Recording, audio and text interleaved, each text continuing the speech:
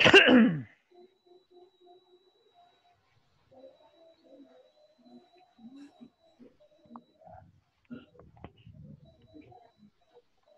Selamat malam Bapak Ibu semuanya. Terima kasih atas kesediaannya sudah bergabung dengan kita di webinar Pemuda Katolik pada kesempatan hari ini. Uh, puji dan syukur kita ucapkan kehadirat Tuhan Yang Maha Esa karena belas kasihnya kita bisa berkumpul di tempat ini walaupun secara virtual dalam keadaan sehat-sehat. Uh, baiklah Bapak Ibu, para narasumber yang kami banggakan dan kami hormati. Terima kasih telah bersedia hadir di tempat ini. Terima kasih untuk rekan-rekan Komda uh, yang sudah mensupport acara kita untuk ambil bagian dalam acara ini. Dari PGI Jawa Barat, terima kasih juga sudah berkenan bergabung di tempat ini. Dan juga semua rekan-rekan siapa saja yang kami tidak uh, bisa sebutkan satu persatu. Oke, untuk memulai acara kita ini, ada baiknya kita buka dulu dengan doa. Izin uh, Pak Kabit dan rekan-rekan yang lain, kami akan pimpin secara Katolik. Oke. Baiklah, Bapak Ibu, rekan-rekan semuanya, kita satukan hati, kita mulai acara ini dengan kita berdoa terlebih dahulu. Dalam nama Bapa dan Putra dan Roh Kudus. Amin. Allah Tritunggal yang Maha Kudus, puji dan syukur kami haturkan kadiratmu Tuhan, atas rahmat dan belas kasihmu, Engkau telah memimpin uh, pertemuan kami pada malam hari ini. Maka Tuhan, hadirlah, bekerjalah di tengah-tengah kami dalam pertemuan kami ini. Utuslah terang roh kudusmu, agar kiranya Tuhan, apa yang kami boleh bahas sepanjang pertemuan kami ini, benar-benar uh, berguna bagi kami, dan kami juga bisa bagikan ke banyak orang, dan kami bisa juga Tuhan menjadi saluran berkatmu uh, terkait apa yang kami boleh bahas sepanjang pertemuan ini. Biarlah Tuhan, roh kudusmu dari awal, pertengahan, hingga akhirnya nanti Tuhan membimbing kami sehingga semuanya bisa berjalan dengan baik. Untuk rekan-rekan kami di mana pun berada Tuhan, kami tetap serahkan ke dalam bimbingan tanganmu.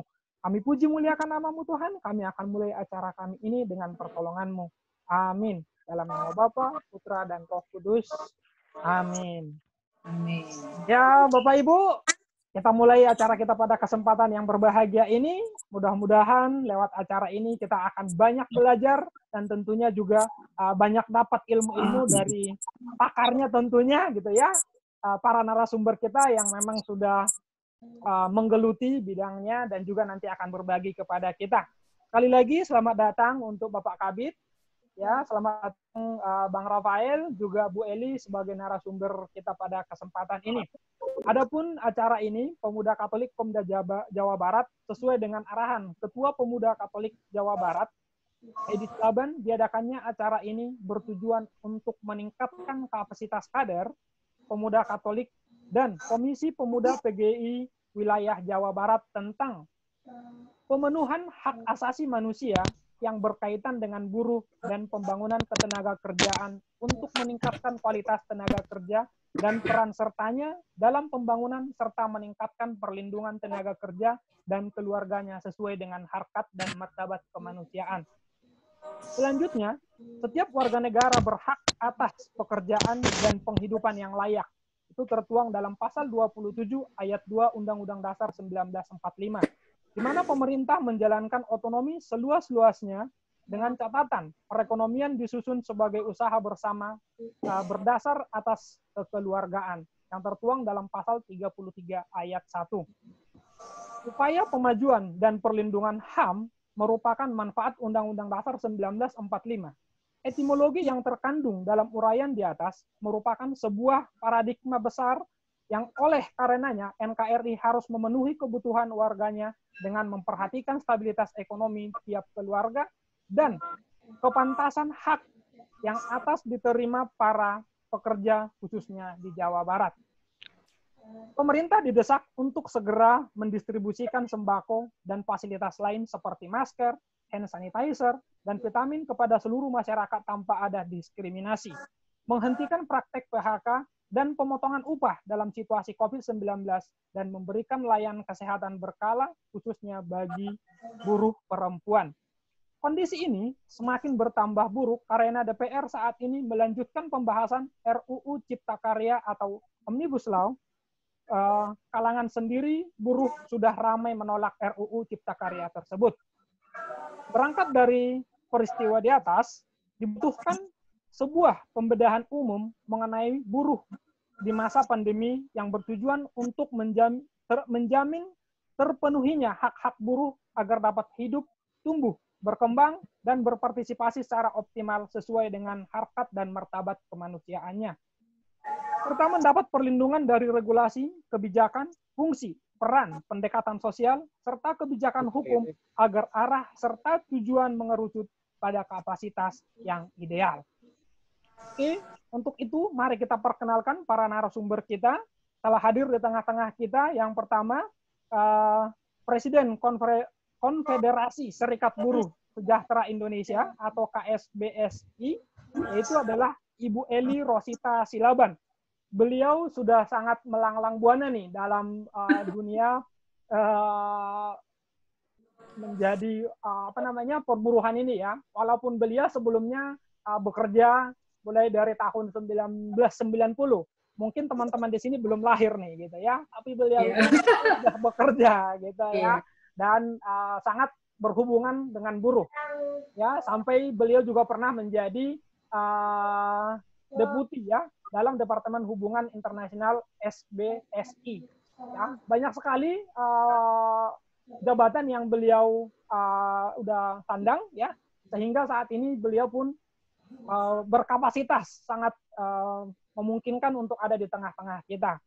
Terus yang kedua, kita juga undang anggota DPRD Jawa Barat, ya, beliau juga penggiat, ya, uh, dulu pendukung buruh di Jawa Barat, yaitu Bang Rafael Sutumorang. Selamat yang malam. Ketiga, malam Bang. Malam, malam. Malam Pak Rafael. Selamat malam Ibu. Yang ketiga, kita mengundang Kepala Dinas Tenaga Kerja dan Transmigrasi Provinsi Jawa Barat, Rahmat Taufik uh, Garsadi, atau yang diwakilkan oleh Kepala Bidang Hubungan Industrial di Snaker Trans Jabar, itu Bapak Hendra Gunawan. Selamat, Selamat malam. Selamat malam. Pak Rafael juga Ibu Lili. Malam. Iya, jadi uh, ini beliau bertiga nih udah saling mengenal akrab sebelumnya. Jadi kita akan lebih akrab lagi di pada pertemuan kita malam ini. Begitu ya Pak ya? Ya, ya. siap. Ah, siap kalau begitu. Ini rekan-rekan semua, kita mulai acaranya ya. Kita sudah tahu nih, para narasumber kita ternyata orang-orang hebat Jawa Barat. Jadi akan sangat membantu kita ya. Oke, ini kita akan mulai dari narasumber pertama kita. Itu nanti dari. Bapak Hendra opening tapi, Uh, tapi dari sebelum kita memulai ke sana, kita akan dengarkan dulu nih uh, Wakil Ketua Bidang Politik dan Antar Lembaga dari Pemuda Katolik Jawa Barat, yang beliau adalah uh, mengusulkan acara ini karena beliau uh, bergerak di bidang ini dalam kepengurusan di Pemuda Katolik. Untuk itu, waktu dan tempat kami serahkan kepada Kang Arya sebagai Wakil Ketua Komisariat Daerah Jawa Barat bagian politik dan antar lembaga. Silahkan Kang Arya. Baik, terima kasih Bang Rey. Terima kasih Pak Ketua Komite Katolik Jawa Barat. Selamat malam dan selamat datang para narasumber yang luar biasa. Pada malam hari ini webinar Pemuda Katolik Jawa Barat. Selamat datang juga seluruh peserta webinar. Malam hari ini tentunya kita akan membahas uh, banyak sekali. Mungkin kita banyak akan menerima pencerahan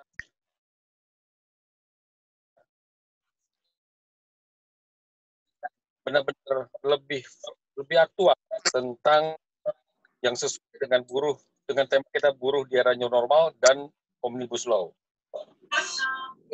Ini kita banyak dari perspektif Ibu Eli sebagai Presiden Konfederasi Serikat Buruh Sejahtera Indonesia, kemudian juga dari Bang Rafael, anggota DPR, dan juga dari Bapak eh, Hendra Gunawan, ya, sebagai Kabit Hubungan Industrial sore. Trans Jawa Barat. Selamat malam, para narasumber. Kami punya kader begitu banyak dan juga begitu uh, militan pada posisi di Pemuda Katolik Jawa Barat. Tentunya dalam menyikapi uh, isu yang update saat ini, terkini tentang Omnibus Law, RUU Cipta Kerja, dan juga situasi global, ini ingin mendapatkan sebuah pencerahan, mendapatkan sebuah hal yang uh, berharga. Karena kami sebagai pemuda Katolik dan juga para kader ingin sekali mempunyai uh, apa pemikiran-pemikiran uh, yang lebih jernih dalam menyikapi apa yang sedang diupayakan oleh pemerintah saat, saat ini. Dan tentunya juga relevansinya dengan apa yang terjadi di kondisi provinsi Jawa Barat yang terkait dengan terkait juga dengan uh, dampaknya sehingga malam hari ini sangat uh, berbahagia untuk kita semua bisa mendengarkan sharing, mendengarkan juga uh, masukan-masukan dan juga berdasarkan pengalaman-pengalaman dan juga berdasarkan kajian-kajian dari para narasumber yang terhormat. Mari Bapak Ibu serta saya mengajak untuk malam hari berdiskusi dan tentunya kita juga menyampaikan pertanyaan-pertanyaan yang sudah diarahkan, yang sudah dikumpulkan oleh moderator. Sehingga malam hari ini adalah malam yang sangat uh, produktif dan konstruktif untuk kita semua pemuda Katolik Jawa Barat. Saya juga akan sebelum lupa saya akan menyampaikan salam Pro Ecclesia et Patria. Pro Ecclesia et Patria. Et Patria. Et Patria. Baik, Bapak Ibu, para peserta, teman-teman, untuk menyingkat waktu, kita lanjutkan uh, ke sesi berikutnya. Saya kembalikan waktu dan uh, tempat kepada moderator. Bang Ray, silakan. Oke, terima kasih Kang Arya. Oke, acara kita sudah dibuka langsung sama yang punya acara pada kesempatan ini, maka kita boleh lanjutkan ke acara selanjutnya. Itu sebelumnya karena di sini juga ada dari wakil PGI Jawa Barat, boleh dengan hormat eh, waktu dan tempat kami berikan mewakili dari PGI Jawa Barat oleh saudari Yesi.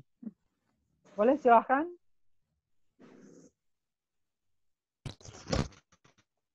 Ya, terima kasih. Sudah sudah semua. Selamat malam dan rekan uh, izin uh, satu. Mbak Yesi, izin Mbak Yesi, suaranya putus-putus. Suaranya putus ya. Ah, ah, jadi kayak ini, dead, dead, dead gitu. Mungkin boleh di handsfree-nya. Tes. Coba coba. kedengaran? Boleh, silahkan.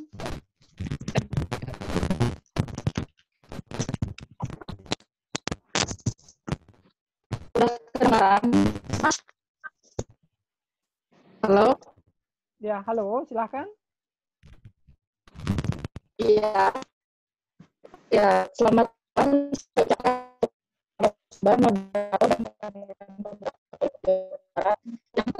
Dapat saya sebutkan satu persatu kita memperhatikan di layar televisi kita masing-masing bahwa dapat kegelisahan dan masyarakat mana RUU Cipta Kerja atau yang dikenal dengan omnibus law sangat tergesa-gesa untuk disahkan. Hal hal yang menjadi titik utama adalah Omnibus Law sendiri diduga akan mengenyampingkan perlindungan buruh, apalagi di tengah-tengah masa pandemi COVID-19. Secara konsep, Omnibus Law ini adalah undang-undang yang membahas berbagai macam hal, berbagai ketentuan yang tumpang tinggi, untuk disatukan dalam satu undang-undang. yang jadi permasalahan apakah perlindungan buruh diatur dalam undang-undang tersebut mengingat konsekuensi dari omnibus law juga menggantikan undang-undang kerjaan yang berlaku namun kita semua apa pun yang menjadi keputusan adalah untuk sepenuhnya kemaslahatan umat bersama dan bangsa Indonesia. Tanpa berlama-lama, saya ucapkan terima kasih kepada muda Indonesia yang telah mengundang kami untuk hadir di webinar ini. Semoga depannya kita dapat berkolaborasi lagi. Shalom. Oke, terima kasih uh, Teteh Yesi dari Pemuda PGI Jawa Barat. Uh, mudah-mudahan. Halo. Susah sekali ya suaranya. Halo. Halo. Ya, Nah. lanjut. Oke, sudah ya, uh, Teteh Yesi. Terima kasih untuk pemaparannya dan juga masukannya kepada kita. Uh, mudah-mudahan di lain kesempatan juga nanti kita bisa akan bisa bekerja sama lagi dalam webinar-webinar selanjutnya. Oke, waktu yang kita tunggu-tunggu, kita akan segera mulai. Jadi kita akan masuk kepada narasumber yang pertama, yaitu Kepala Bidang Hubungan Industrial Disnaker Trans Jawa Barat, Bapak Hendra Gunawan. Pak Hendra, siap Pak Hendra? Siap, siap. Oke, Siap. siap. Oke. Eh, protokol new normal telah membawa babak baru dalam pola kehidupan manusia di Indonesia.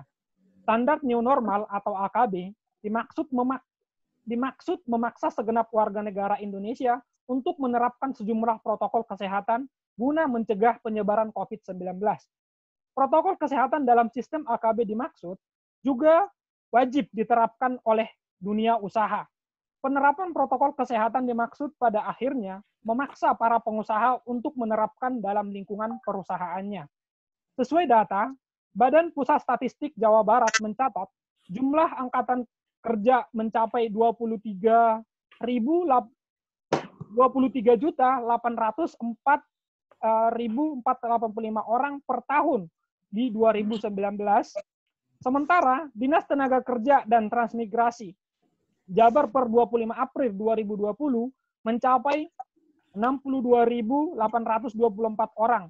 Jumlah tersebut terbagi di antara jumlah yang di PHK mencapai 12.661 orang dan jumlah pekerja atau buruh yang dirumahkan 50.187 orang.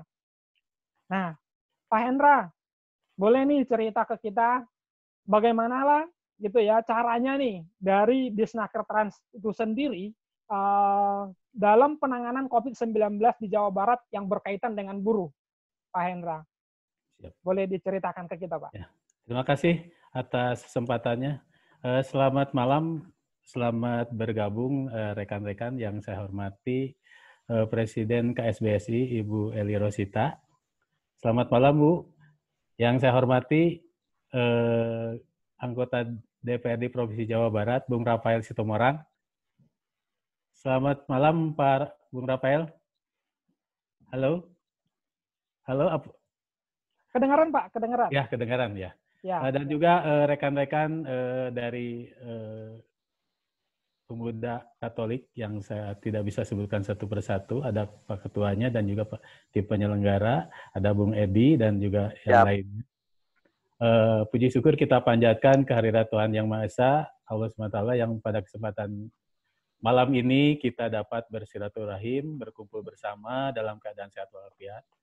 Yang mudah-mudahan eh, malam ini juga malam yang sangat baik. Kita dapat mu- apa saling bertukar pikiran, berbagi ilmu dalam rangka me- apa mengantisipasi kondisi buruh di Jawa Barat tentunya. Tadi disampaikan juga oleh eh, panitia dan juga eh, kepala acara bahwa bagaimana penanganan buruh di era COVID ini dan bagaimana eh, peran daripada Disnaker itu dalam mengantisipasi kondisi buruh di Jawa Barat tentunya. Eh, tadi sudah disampaikan, jadi saya tidak eh, eh, tidak eh, tidak usah disebutkan lagi kondisi ketenagakerjaan ya Pak ya, ya Mas ya Bang ya. Jadi Siap, sudah siap. ini Boleh. Eh, nanti untuk bahan-bahan kita kirim secara ini eh, dikirim eh, melalui ini WA jadi saya ingin uh, kita bi, apa, mengobrol, bicara banyak mengenai itu, mengenai ketenagakerjaan. Pertama, uh, bagaimana sih uh, penanganan yang kita lakukan ter terkait dengan uh, kondisi uh, buruh di masa COVID ini, gitu. Betul. Tidak dampak bidang COVID di kerja, uh, sebagaimana disampaikan tadi bahwa uh, kondisi uh, buruh terdampak COVID itu mengakibatkan uh, perusahaan terdampak ada 900, uh, 1.970 perusahaan. 1.970 peras, uh, 1.970 perusahaan itu uh, dengan jumlah buruh kurang lebih sekitar 111.791 orang.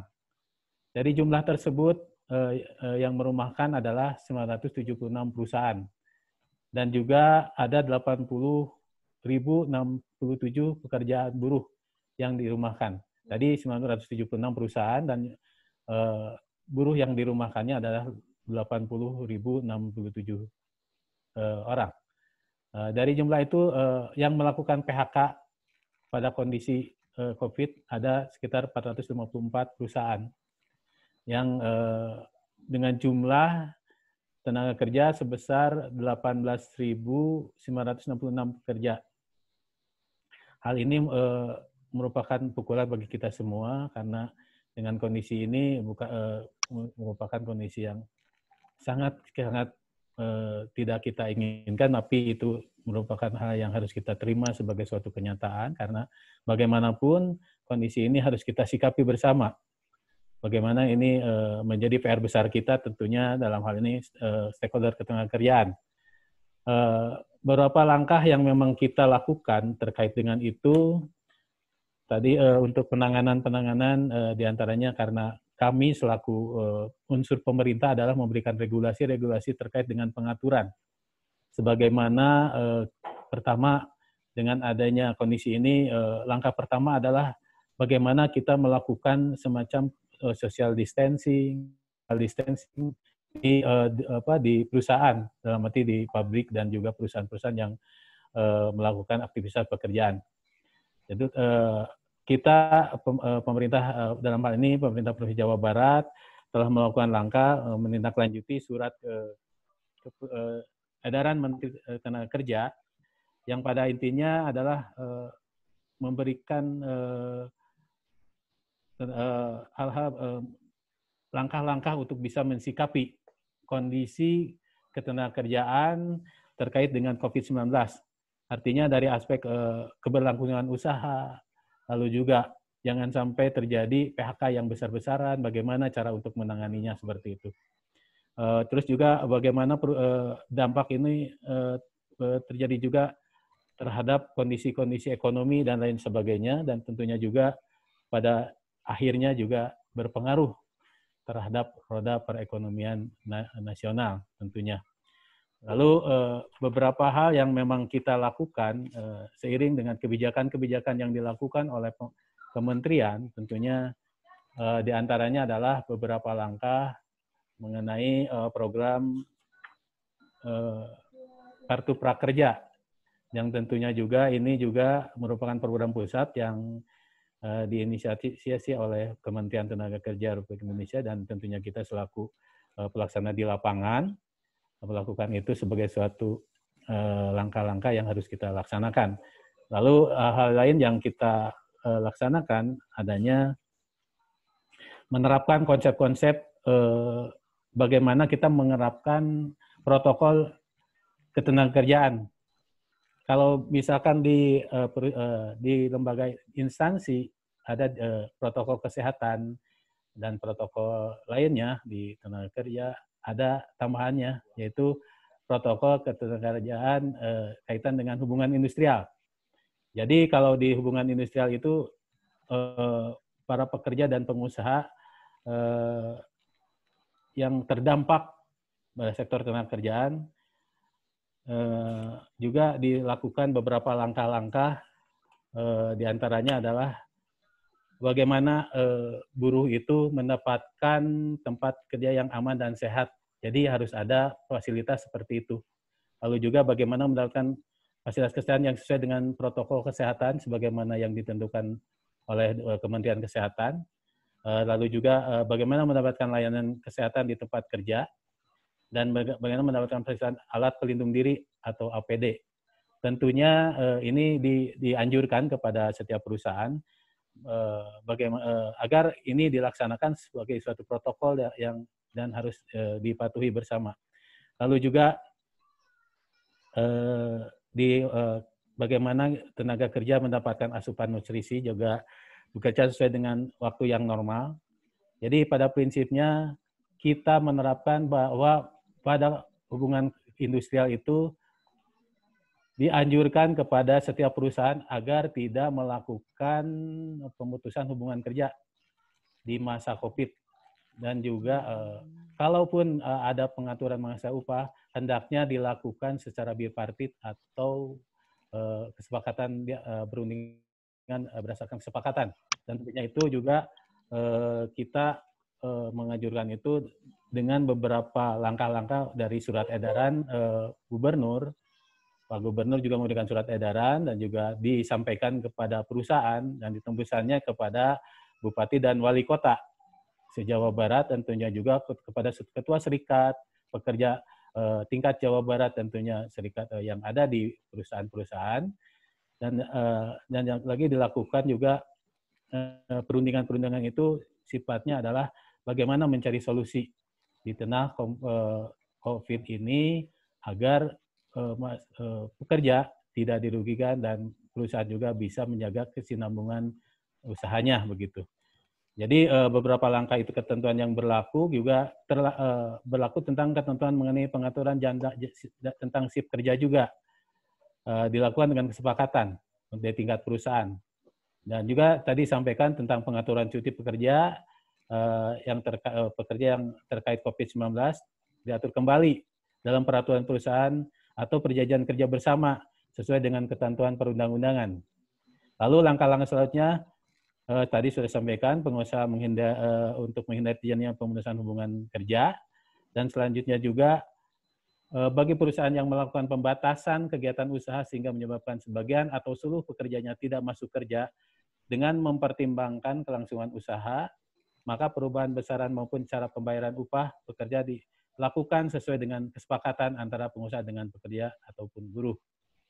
Uh, itu juga dilakukan uh, kita uh, himbau kepada perusahaan-perusahaan dan juga serikat pekerja juga sudah disampaikan uh, dalam forum-forum uh, diskusi apakah itu melalui uh, LKS lembaga kerjasama tripartit uh, yang melibatkan tentunya uh, stakeholder kerjaan. Di antaranya juga kita melibatkan serikat pekerja, kita melibatkan juga uh, pindonya, kita melibatkan juga akademisinya, kita juga melibatkan pakar-pakar yang uh, di bidang ketenagakerjaan untuk dapat meregulasi ini agar bisa efektif di lapangan tentunya. Uh, juga uh, hal lain yang dilakukan juga uh, himbauan adalah perusahaan tetap harus produktif, tetap tetapi aman beradaptasi dengan COVID melalui perencanaan keberlangsungan usaha, juga perlindungan pekerja dalam pemberian uh, eh, JKK pada kasus uh, kasus COVID-19 akibat kerja. Ya, juga peningkatan kolaborasi dengan stakeholder, bagaimana uh, kita mengawasi kondisi ketenaga kerjaan, baik itu terkait dengan norma dan norma dan apa pengawasan K3-nya. Jadi dalam masa COVID pun kita berupaya untuk tetap konsisten untuk tetap mengawasi kondisi-kondisi tenaga kerja yang ada di lingkungan Provinsi Jawa Barat. Uh, dan uh, dalam kondisi jika terdapat pekerja atau buruh beresiko dan diduga mengalami sakit akibat COVID-19, maka dilakukan langkah-langkah penangan, penanganan sesuai dengan standar protokol kesehatan.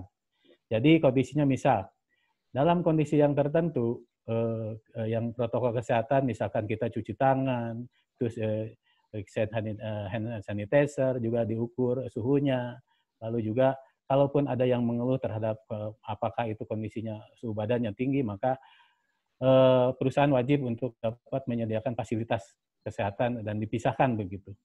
Jadi kalaupun ini terjadi, maka kita di di Snaker juga menerapkan konsep level-level level level hijau, level biru dan level hitam untuk menentukan perusahaan-perusahaan mana yang memang pada prinsipnya terdapat banyak sekali terpapar ataupun tertular COVID-19 di wilayahnya sesuai dengan yang disampaikan dalam informasi yang oleh pemerintah daerah setempat.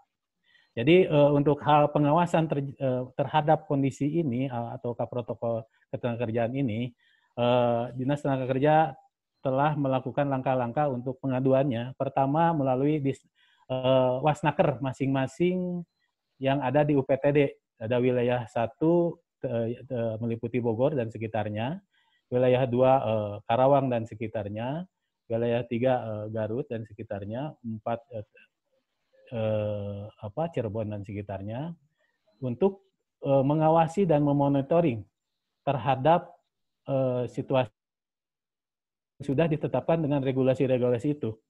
Jadi eh, setiap waktu dia harus melaporkan kepada kita atau melaporkan eh, koordinasi melalui disnaker setempat apabila terjadi pelanggaran-pelanggaran yang dilakukan oleh perusahaan.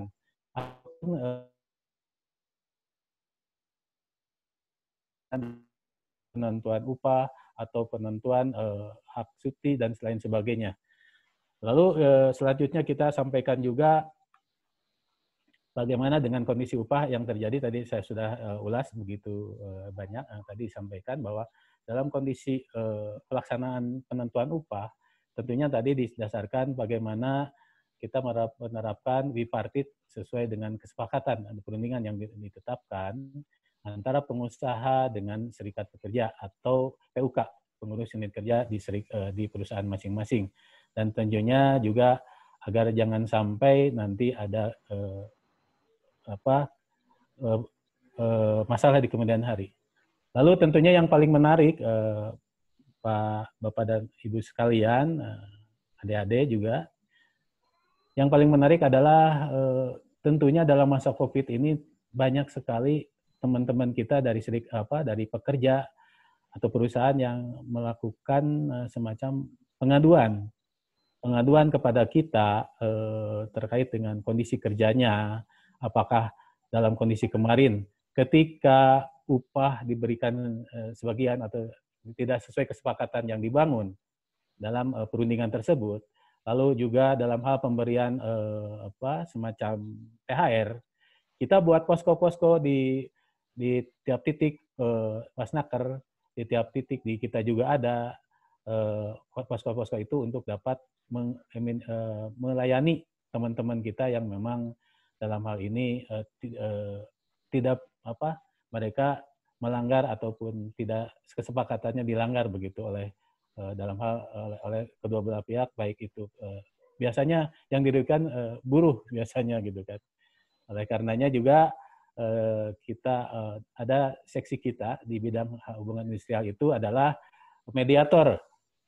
Mediator itu eh, adalah suatu lembaga ataupun memang tupoksi yang ada di hubungan industrial, IQ tenaga kerja ke dinas tenaga kerjaan yang tugasnya adalah melakukan mediasi terhadap kondisi yang terjadi dengan apa kesepakatan yang tadi saya sampaikan begitu.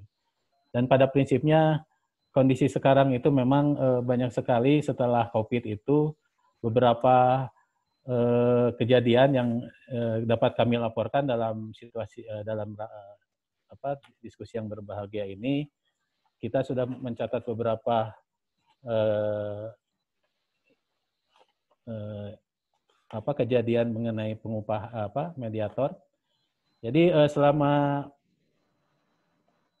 tahun 2020 ini biasanya kita hanya satu dua uh, melayani tentang uh, mediasi uh, terkait dengan perselisihan yang ditangani oleh uh, kepala seksi pencegahan perselisihan.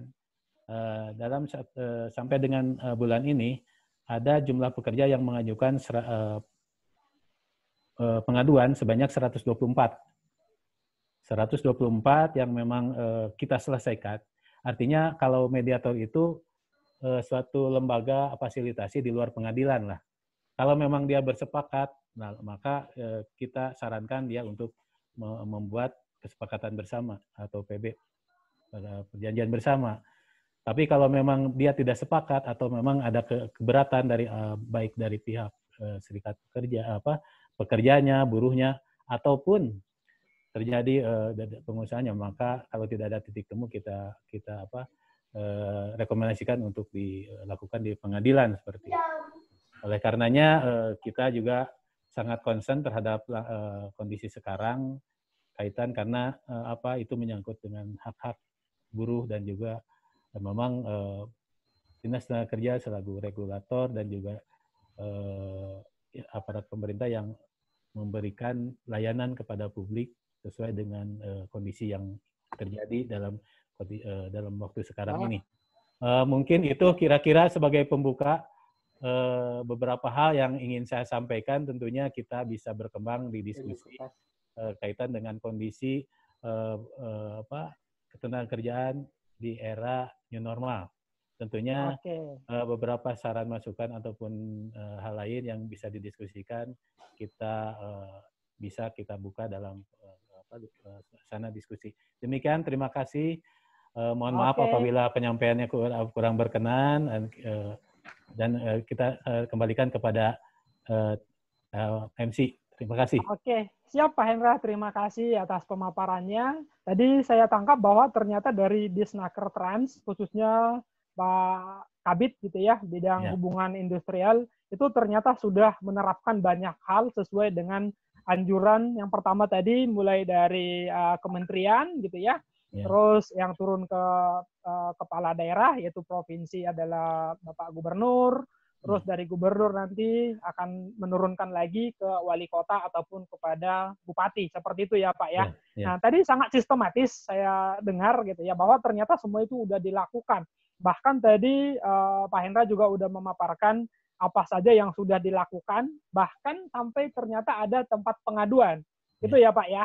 Ya. Nah itu tadi pengaduannya eh, meli- melikupi di ada Bogor, Karawang, Garut, dan Cirebon.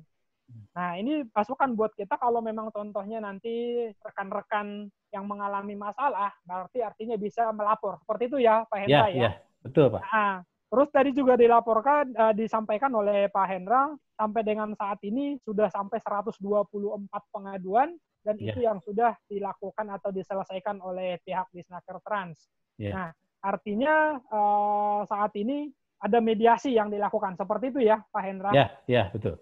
Nah, Pak Hendra, boleh dong diceritakan ke kita kan, dalam hubungan uh, industrial itu sendiri, pengusaha dan buruh kan kerap kali ada selisih nih gitu ya, Pak Iya, Hendra ya. iya. Nah, terus uh, hubungan dengan uh, Bapak sendiri sebagai kabit, itu kira-kira seperti apa Pak? Apakah nih pengusahanya siap dengan segala regulasi yang sudah diberikan? Terus Iya. buruhnya itu bagaimana mereka bisa menerima itu? Karena kan tadi udah sangat sistematis tuh, tapi masih banyak buruh yang melaporkan bahwa mereka tidak diperhatikan seperti itu. Ya. Terus pengusaha bilang kok kita kayaknya uh, dari terjepit, dari pemerintah tekan kita, buruh Ya. minta ke kita. Nah, kira-kira Ya. seperti itu itu Pak Hendra. Terima kasih eh, atas itunya, atas pertanyaannya. Saya coba jawab untuk hal ini terkait dengan apakah memang perusahaan apabila diterapkan eh, regulasi ini keberatan se- dari eh, buruh juga tidak kesepai kesepakatan, maka hal ini eh, bisa saja terjadi dan ini akan lumrah terjadi karena berbagai hal dan berbagai kepentingannya masing-masing tentunya. Ada ada salah satu kasus yang memang terjadi ini kita selesaikan dengan eh, mediasi dan juga kalau kita tidak bisa selesaikan tentunya kita di lapangan ada yang namanya eh, pengawas ketenagakerjaan yang fungsional Pak. Jadi UPTD itu ada ada eh, apa? Ada sema- eh, pasukannya namanya ya peng- pengawasan yang memang dia bertugas untuk melakukan eh, semacam monitoring dan di tingkat lapangan karena bagi kami kebetulan HI itu adalah eh, yang membuat regulasinya.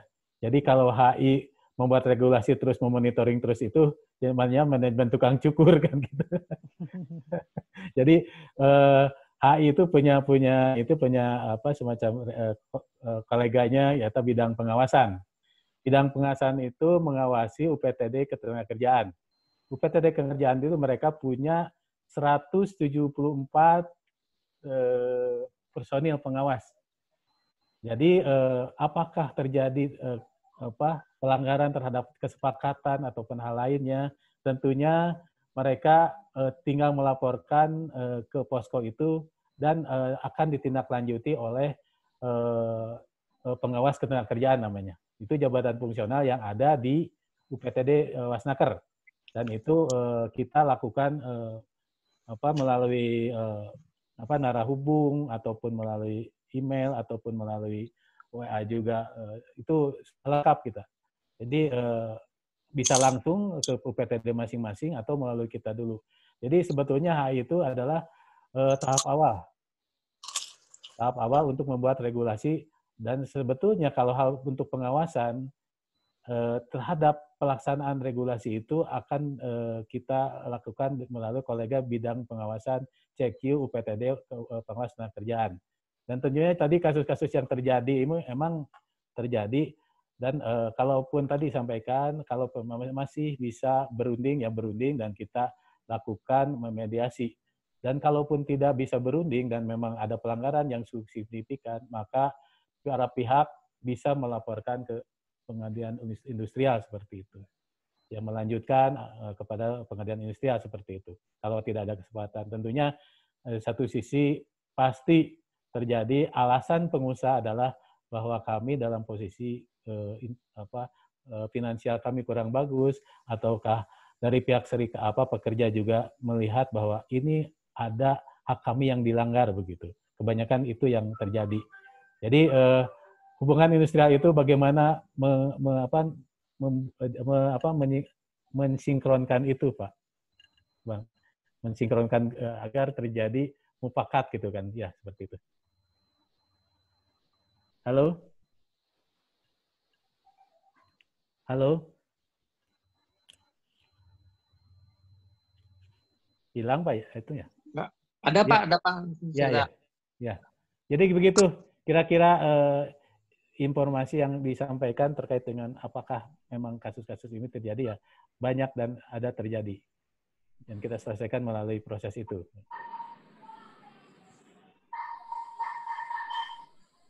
Uh, lain ya. Udah suara. Eh, ada ada, Eh, barusan hilang. Ya. Oh, Oke, siap, siap. Oke, terima kasih Pak Hendra atas pemaparannya eh, kepada kita pada malam hari ini. Intinya pada hal ini atau dalam eh, COVID-19 ini, Disnaker Trans bekerja keras untuk memediasi antara pengusaha dan juga eh, para karyawan atau buruh. Seperti itu ya Pak ya? Tentu, ya. Ah, ah, Hmm. jadi dipastikan saat ini eh, kondisi atau posisi Disnaker Trans itu adalah di tengah-tengah. Ya. Ah, jadi mudah-mudahan memang ke depannya ini benar-benar terrealisasi dengan sangat baik gitu ya. ya. Karena tetap aja nanti kedua belah pihak akan punya pandangan masing-masing seperti Ya. itu ya Pak. Betul, betul. Sementara nanti kita akan lanjutkan lagi dengan pertanyaan-pertanyaan buat Pak Hendra. Kita lanjut dulu kepada narasumber selanjutnya. Begitu ya Pak Hendra ya? Ya, mangga, silakan, mangga. Oke, sekarang kita lanjut kepada Presiden. Ha, ini Presiden yang satu ini yang cantik gitu ya, yang ada di tengah-tengah kita, Presiden Konfederasi Serikat perempuan ya. Buruh. Oke, siap Ibu Eli? Iya, siap, Mas. Siap ya, oke. Nah, penerapan protokol eh, yang saat ini dilakukan ya, mau tidak mau juga berdampak pada kehidupan para pekerja atau buruh yang merupakan bagian dari perusahaan dalam penerapan protokol yang dimaksud, Bu Eli. Nah, dampak yang paling signifikan adalah di mana perusahaan harus membatasi kegiatan perusahaan untuk menghindari kerumunan ataupun berkumpulnya pekerja dalam satu lingkungan yang mana membuat perusahaan harus memangkas jumlah pekerja dan dengan demikian PHK tidak bisa dihindari. Nah, dampak lainnya yang mungkin akan terjadi adalah di mana sektor-sektor uh, yang bers yang sifatnya pada karya yang menyerap banyak tenaga kerja juga menjadi tidak relevan lagi untuk dihindari. Nah, di sini di sisi lain DPR RI tetap melanjutkan pembahasan RUU Omnis Om, Omnibus Law. Nah, khususnya RUU Cipta Lapangan Kerja yang ditolak oleh sejumlah elemen organisasi buruh atau pekerja. Bu Eli, Iya, Mas. ya cerita ke kita gitu ya, bagaimana sih pendapat Bu Eli sendiri gitu ya tentang penanganan uh, pemerintah terkait COVID-19 ini terhadap buruh? Apakah sudah maksimal atau bagaimana, Bu Eli? Ya, eh, terima kasih banyak ya. Eh, selamat malam. Eh, saya sapa dulu Pak Kabit Hubungan Industrial yang diakui oleh Pak Hendra, lalu eh, Bapak Rafael Situmorang, anggota DPR ya. Ya. Ya, anggota DPR, lalu Pemuda Katolik Jawa Barat, Komisi Pemuda PGI Jawa Barat, ada tadi Mbak Yesi, ada itu saya, Siap. ada ya ada Mas Arya dan ada Mas Rey. Nanti saya tolong dimaafkan karena tidak menyebut satu persatu nama-nama yang eh, ada. Jadi terima kasih saya berbangga juga sih eh, pemuda pemuda Katolik mengundang saya karena memang kerinduan saya sejak empat bulan yang lalu ketika pemuda Muslim sudah mengundang kita ini di mana ini eh, agamaku. Sebenarnya ini bukan soal agama ya, tapi soal konsentrasi kita memikirkan eh, isu-isu yang memang eh, barangkali tidak mengena ke kehidupan kita secara nyata, tapi itu eh, mengena kepada kehidupan masyarakat pada umumnya gitu. Jadi akhirnya cita-cita dan doa itu eh, ada beberapa minggu yang lalu di toko ini SMS WA bahwa bersedia nggak itu ya saya kira ini tidak ada alasan saya untuk menolak walaupun hari minggu yang seharusnya saya agak bersantai-santai tapi dari jam 5 sudah di booking tadi. Jadi sebenarnya kalau kita bicara soal COVID ini tidak ada hentinya sih. Uh, kalau saya melihat secara komprehensif aja bahwa ini bukan masalah Indonesia saja gitu. Ini kan masalah dunia. Saya tidak tahu jumlah negara berapa sebenarnya, tapi dari pidatonya Pak Jokowi mengatakan 206 negara gitu yang sudah terdampak dan yang diuntungkan adalah sekarang uh, pemuda-pemuda besar gitu. Jadi kita nggak tahu sebagian masyarakat mengatakan bahwa ini adalah uh, apa namanya uh, apa itu ya? Saya lupa istilahnya, tapi konspirasi ya, konspirasi uh, global bahwa kenapa memang ini tiba-tiba ada dan yang diuntungkan itu adalah orang-orang pemilik modal gitu.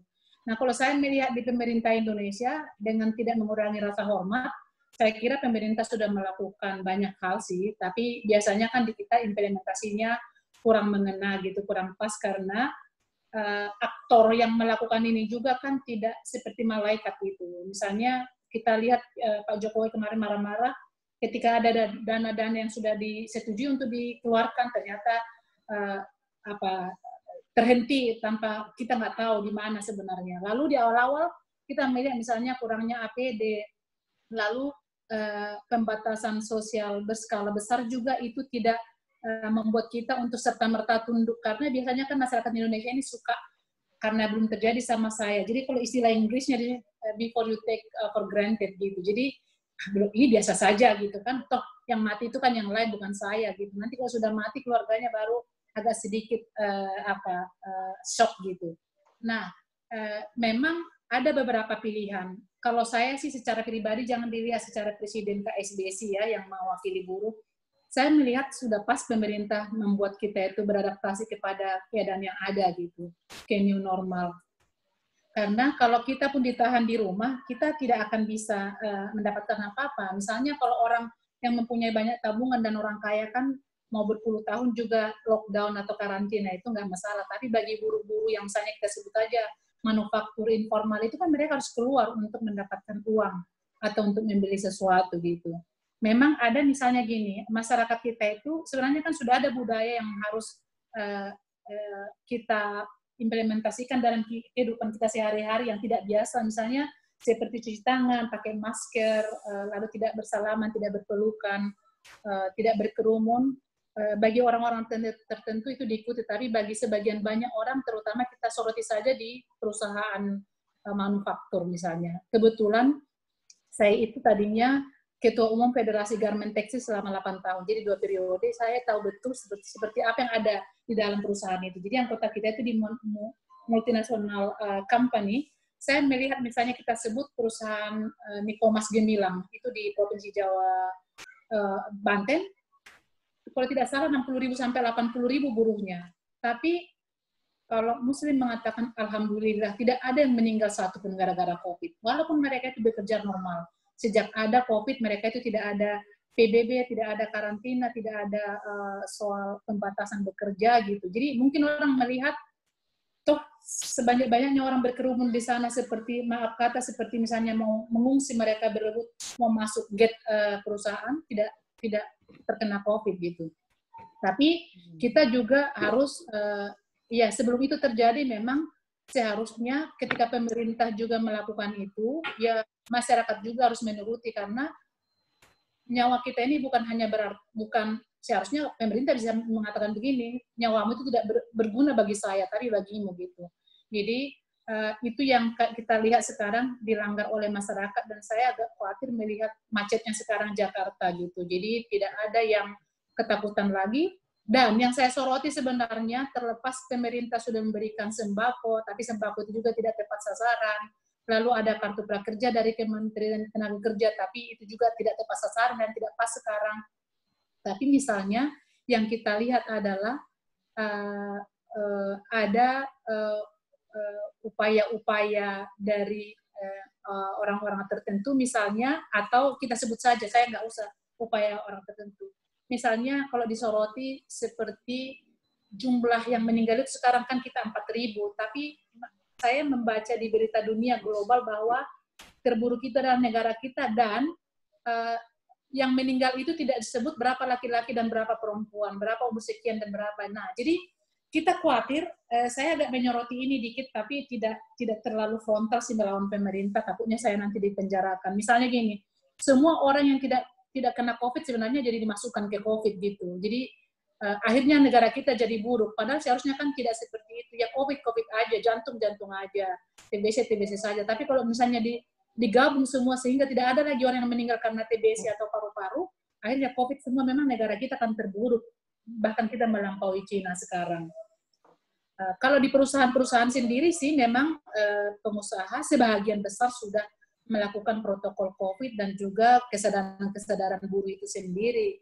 Tapi ya kalau misalnya saya melihat uh, ke sininya sekarang uh, masyarakat dan pengusaha-pengusaha juga sudah mulai meninggalkan uh, uh, apa protokol itu dan uh, masa depan buruh kita tidak tahu. Kalau kami memprediksi kalau uh, Kementerian mengatakan 3,6 juta sekarang terdampak COVID itu yang ter, ter, yang terverifikasi hanya 1,76 tapi kami melihat itu worst scenario bisa 7 juta sampai bulan Juli ya berakhir bulan Juli ini kan karena tidak ketahuan saja gitu jadi saya kira uh, sebegitu dulu deh soal uh, bagaimana pemerintah. Saya kira mereka sudah melakukan hal yang terbaik, tapi uh, saya harus menyoroti bagaimana masyarakat masyarakat kita itu sangat welcome dengan penipuan-penipuan gitu. Dana COVID disalahgunakan, sembako disalahgunakan, uh, ya segala macam seperti itu. Jadi akhirnya apa pun yang dilakukan pemerintah itu pasti salah. Belum lagi nanti dihubung-hubungkan dengan pilpres atau pilkada segala macam sehingga COVID ini dikatakan karena presiden lah buruk atau karena gubernur nggak seperti ini sebenarnya kan ini dialami dunia tapi kalau kita kembalikan kepada kita masing-masing COVID ini adalah masalah global dan bagaimana untuk mengatasinya sudah karantina diri sendiri atau batasi atau ikuti uh, protokol-protokol uh, COVID yang berlaku gitu. Oke, berarti pada dasarnya memang kalau Bu Eli melihat pemerintah sudah melakukan atau mengupayakan banyak hal, hanya ya. saja uh, aktor pelaksana atau yang uh, menyalurkannya itu banyak sekali melakukan yeah. spekulasi di jalan yeah. seperti itu Bu Eli ya. Nah, berarti ini menjadi PR kita sebagai orang muda juga harus mengkritisi atau mungkin mencari nih yeah, kenapa betul. bisa sampai seperti itu. Seperti itu ya Bu Eli ya. Iya, iya Mas. Oke, Bu Eli, boleh mungkin kita lanjutkan ke yang selanjutnya. Nah, tadi kan kita bilang bahwa di sini banyak diteriakkan bahwa pemerintah itu uh, sekarang tidak pro dengan uh, buruh atau karyawan. Hmm yang hmm. mana saat ini sedang dilanjutkannya lagi tentang uh, pembahasan uh, RUU Cipta Lapangan Kerja atau Omnibus Law tadi, Bu. Iya. Nah, apa sih bedanya, Bu, gitu ya, uh, Omnibus Law tadi dan Undang-Undang 13 tahun 2003 ini? Apakah buruh menerima peraturan UMR pada RUU Cipta Karya tersebut?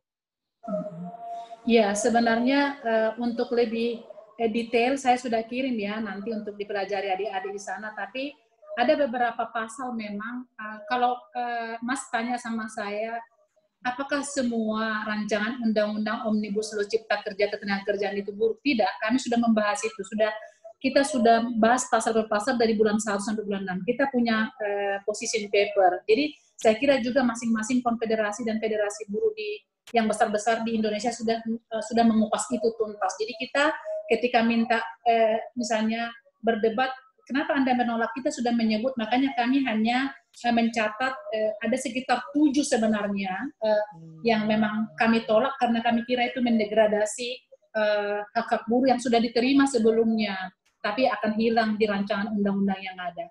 Kalau misalnya kita uh, uh, balik ke masa lalu 2003 sebenarnya undang-undang 2003 juga ditolak kan kemarin itu hmm. nggak tolak lalu uh, mungkin kita masih ingat setiap saat buruh uh, apa tolak undang-undang nomor 13 2003 revisi segala macam kalau uh, saya melihat memang sudah pantas direvisi, tapi bukan berarti direvisi itu menghilangkan hmm. hak-hak buruh yang sudah ada di sana. Revisi untuk perbaikan karena eh, kita tidak anti eh, tidak anti eh, perubahan ya, tapi perubahan yang lebih bagus, bukan perubahan yang lebih buruk. Jadi misalnya eh, ini bukan jadi susunan eh, tertinggi terburuk ya. Jadi saya sebut saja misalnya ada di situ PKA. Ini kan sekarang misalnya yang seperti apa? Eh, apakah misalnya memang dia yang transfer knowledge atau misalnya dia yang hanya eh, tenaga ahli. Jadi itu kan eh, agak agak agak blunder. Jadi eh, jangan misalnya sampai kita nanti eh, kita tidak anti TKA. Kita harus ingat bahwa tenaga kerja Indonesia juga banyak di Arab Saudi, Malaysia, Hong Kong. Kalau diperlakukan juga seperti itu kan misalnya ya how will it be if you are standing on my shoes gitu. Jadi bagaimana kalau kamu ada di posisi saya, misalnya diusir tenaga kerja kita dari sana. Jadi saya kira Betul. Eh, masyarakat Indonesia harus lebih cerdas sedikit, jangan terlalu bawa-bawa isu rasial atau isu kebencian yang tidak beraturan. Iya kalau Cina yang datang, kalau misalnya yang lain mungkin akan welcome juga kan kita tidak tidak pernah iya, tahu gitu. Tapi saya berpikir tetap eh, oke okay, kita masuk aja ke eh, sebenarnya yang kamu tolak itu apa? Nah seperti itu. Lalu kedua ada PKWT atau kerja kontrak kan misalnya dulu itu kan eh, eh, eh, di kontrak ini kan bisa dia hanya dua tahun dan ditambah satu tahun tapi sekarang dia bisa dikontrak secara terus menerus dan juga dia bisa di PHK tanpa membayar pesangonnya jadi apa pun nanti soal PHK-nya pun nanti berdasar kesepakatan gitu. Jadi itu tidak adil juga. Lalu ada outsourcing. Dulu kan ada di lima uh, di lima ini saja di lima uh, pekerjaan. Itu di cleaning service, catering, uh, security, uh, usaha jasa penunjang pertambangan, penyediaan angkutan bagi buruh. Tapi sekarang kan itu bisa di outsourcingkan. Eh, yang uh, pekerjaan pokok juga bisa di outsourcingkan. Jadi agak agak dalam memang kalau kita lebih uh, bahas lagi, makanya saya kirimkan nanti biar uh, teman-teman bisa membaca di sana. Lalu pengupahan, uh, eh, UMP bagi perusahaan sedang. Jadi ada tiga sekarang. Kalau dulu kan ada UMP, ada UMSP, ada UMK, segala macam. Sekarang kan hanya ada tiga. Itu ada UMP bagi perusahaan sedang, besar, uh, dan non padat karya. Lalu ada UMP untuk padat karya. Lalu ada upah pada usaha mikro dan kecil dan ini kesepakatan ini kan makin buruk gitu. Kenapa? Hmm. Kalau kita memang mau welcome dengan investor, tapi uh, kita kan mereka harus menyesuaikan dengan keadaan kita yang ada. Jadi ini saya kira soal harkat dan martabat bangsa gitu. Jadi kalau misalnya alasan pemerintah membuka eh, merancang uh, uh, undang-undang omnibus law ini untuk uh, menarik investor, mereka harus punya harga diri dong bagaimana dengan hmm. buruhnya ini gitu loh jangan misalnya kita menggadaikan yang penting welcome dan kita banyak investor tapi kita nanti terpuruk sehingga buruh tidak mendapatkan eh, gizi yang sebenarnya. Upahnya juga makin rendah.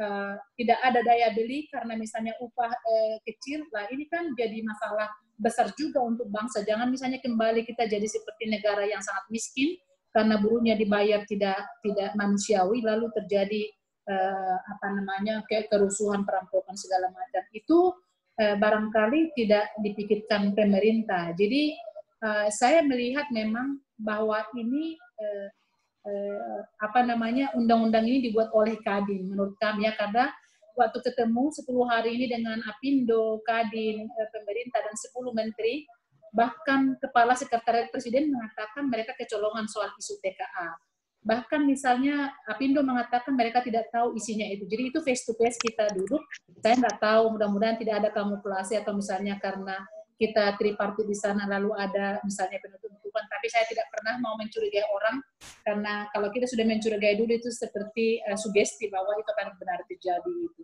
lalu ada sanksi pidana uh, penjara bagi uh, pengusaha yang melanggar soal pembayaran upah melanggar soal buruh tidak ada lagi sudah uh, sanksi administrasi. Lalu ada BPJS penambahan program jaminan sosial. Itu juga tidak perlu sekarang ini. Jadi uh, uh, Nah, seperti itulah yang memang kita soroti eh, saat ini. Dan eh, sampai sekarang tim kita masih bekerja di sana. Ada 15 dari perwakilan serikat buruh, ada 25 dari Apindo, dari Kadin saya tidak tahu tapi dari pemerintah ada sekitar 50 orang. Mereka masih tetap di uh, di gedung kementerian saat ini untuk membahas ini gitu. Jadi saya saya yang berpikir begini, kalaupun pemerintah mau merubah undang-undang, uh, jangan uh, mendegradasi hak buruh dan hak masyarakat gitu. Jadi tetaplah rubah undang-undang tapi sesuaikan dengan uh, keadaan yang ada karena kita juga beradaptasi uh, dengan keadaan. Misalnya memang pengangguran 6,88 juta, 6,88 juta uh, di bulan Februari. Sekarang bisa jadi 12 juta atau uh, bisa 15 juta. Memang kita akan berpikir bagaimana menampung buru-buru yang sudah di PHK dan dirumahkan beserta 7 jutaan yang pengangguran sebelumnya. Tapi alangkah baiknya pemerintah mereview ulang soal uh, memasukkan investor ke dalam ke Indonesia dengan menenggelamkan uh, martabat dan memiskinkan daya beli masyarakat dan buruh pada khususnya. Oke, Bu Eli. Artinya berarti memang kita semua uh, tidak menolak tentang perubahan itu seperti itu ya, Bu Eli ya. Iya, tidak menolak. Di serikat buruh Ya. Karena yang namanya untuk bertumbuh harus berubah seperti itu ya Bu Eli ya. ya. Hanya yang paling penting tadi di garis bawahin adalah perubahan atau merevisi sesuatu itu harusnya adalah untuk lebih baik. Jangan ya. sampai ada kemunduran. Ya. Terus yang berikutnya tadi Bu Eli garis bawahin ya. adalah walaupun kita memang pengen memikat investor dari luar negeri, tetap hmm. harga diri atau jati diri sebagai bangsa harus tetap di ke, ke, diutamakan seperti itu ya Bu Eli ya. Iya. Jangan mentang-mentang untuk menarik uh, investor dari luar otomatis peraturan ya udah serta mereka seperti itu gitu ya, iya. ya Bu Eli ya. Iya. Nah Bu Eli tadi kan Bu Eli ada keceplosan tuh tentang sama Pak Bang Rafael apakah ada konspirasi gitu ya. nah adakah gambaran gitu ya bahwa uh, dasar-dasar penolakan yang dilakukan oleh uh, elemen buruh nih ya hmm. ada konspirasi atau mungkin ada kaitannya indikasi tentang uh, investor tersebut gitu. Jadi saya melihat begini mas, uh, uh, mungkin uh, masyarakat sudah tidak bisa dibohongi lagi dengan keadaan sekarang. Media sudah ada televisi terbuka, handphone di tangan kita bisa mengakses apa saja. Kalau saya juga berbohong atau saya uh, setuju, misalnya saya berbohong atau saya serius, eh, nanti teman-teman sama bapak-bapak yang mendengar pasti tahu. Tapi misalnya memang eh, saya melihat ini adalah eh, kes, saya gimana ya sebenarnya saya tidak tidak tidak tidak orang yang uh, sangat uh, dalam soal politik atau permainan atau konspirasi ya. Jadi saya memang uh, bekerja di serikat buruh, tugas saya adalah hanya memimpin buruh, tapi dengan uh, bagaimana saya melihat persoalan secara uh, pakai uh, helikopter view, nggak boleh pakai kacamata uh, kuda. Karena Eh, kalau sekarang misalnya perubahan iklim itu kan perubahan iklim kerjaan iya, perubahan iklim ekonomi iya, perubahan pemakaian keuangan iya, segala macam. Bahkan pendidikan anak-anak yang sekarang online juga. Sebenarnya itu kan perubahan iklim uh, di pendidikan gitu. Saya hanya melihat begini, uh, tidak apa-apa kalau pemerintah uh, mendatangkan investor, tapi yang biasanya saya lihat memang Eh, terutama itu terjadi di negara-negara yang membutuhkan investor seperti Vietnam gitu. Vietnam itu memang upah buruhnya kan rendah karena jadi eh, investor itu ke sana ke sekarang. Nah, apakah pemerintah Indonesia mau seperti itu karena buruhnya dibayar rendah? Saya kira gini, memang akan banyak orang tidak setuju dengan pernyataan saya karena saya dari dari kelas buruh gitu. Mungkin kalau saya di di kelas pengusaha atau kadin uh, pernyataan saya mungkin akan berbeda gitu dengan pernyataan eh, buruh gitu. Tapi yang saya lihat adalah bagaimana mungkin misalnya Mas Rey itu sudah dapat gaji 10 juta sekarang gitu. Ya. Tiba-tiba ada undang-undang yang baru, kamu itu harus digaji 7 juta gitu. Kamu kan pasti berontak kan? Nah gitu. Uh, kamu misalnya sudah tadinya kamu sudah permanen di sana sampai nanti kamu pensiun 2020 misalnya. Tapi tiba-tiba kamu akan bisa di di di PHK besok tanpa mendapatkan pesangon apa pun. Nah, kalau itu misalnya dicerna oleh adik-adik mahasiswa, pemuda-pemuda Kristen atau Islam segala macam atau teman-teman pemerhati di luar sana, mereka pasti setuju dengan penolakan ini gitu. Tapi kenapa kami tidak menolak? kami tidak menolak karena kami lihat ada pasal-pasal itu juga yang menguntungkan bangsa kita gitu. Kami hanya menyoroti ini saja di ketenaga kerjaan. Yang lain saya tidak mau menyoroti apakah di agraria atau pertanian segala macam saya tidak karena fokus saya hanya di sini gitu. Dan misalnya banyak sekali memang saya mohon maaf sama Pak Rafael nanti mungkin beliau adalah salah satu yang tidak seperti DPR kebanyakan yang hanya memutus undang-undang yang penting undang-undang putus dan masyarakat tidak mau tahu mau apa. Saya berdoa mudah-mudahan beliau tidak orang yang seperti itu. Uh, memang kebencian orang sekarang menjadi ke DPR gitu. Ketika kita mendatangi Jokowi kemarin, kita kan berkunjung ke rumah Jokowi, eh ke istana di masa COVID, Pak Jokowi umumkan bahwa dihentikan dulu biar fokus dengan uh, apa namanya eh, COVID. Lalu kita bertemu dengan Kemenko mengatakan oke okay, dilibatkan tripartit. Makanya itu terjadi sekarang. Nah sekarang kan kita sudah duduk bersama untuk membahas ini dengan Apindo, Kadin, dan pemerintah. Nanti penentunya ini kan di DPR gitu. Ini DPR nanti masuk lagi koalisi-koalisi politik-politik. Jadi tidak ada yang bisa menjamin. Tapi paling tidak kalau sudah kita, karena sebuah undang-undang harus lolos uji publik kan. Nah, karena ini sudah kita diskusikan sekarang, ada pro dan kontra dengan Kadin dan Apindo di sana, tapi ada juga kesepakatan-kesepakatan, oh benar-benar seperti ini gitu. Nah, memang kuncinya nanti adalah di gedung DPR. Saya tidak tahu misalnya apakah di gedung DPR itu ada konspirasi karena kita nggak pernah ada di sana. Nanti mungkin Bung Rafael, itu Rafael bisa menjelaskan sama kita tentang itu. Tapi saya berharap mudah-mudahan para DPR yang ada duduk di sana sekarang itu adalah eh, para wakil rakyat yang memang punya hati untuk melihat keadaan ini gitu. Jadi jangan kita ditimpa eh, terlalu banyak masalah ya. Misalnya omnibus law sudah itu menyengsarakan buruh, lalu ada COVID lagi menyengsarakan masyarakat dan buruh juga gitu. Jadi udahlah satu-satu aja lah cobaannya jangan terlalu banyak gitu biar kita juga bisa berjalan uh, sedikit tidak cepat tapi kita bisa berjalan normal tanpa misalnya ada ketakutan-ketakutan yang berlebih uh, di hari-hari gitu. Oke, Bu Eli, terima kasih untuk pemaparannya. Cukup jelas sekali ya.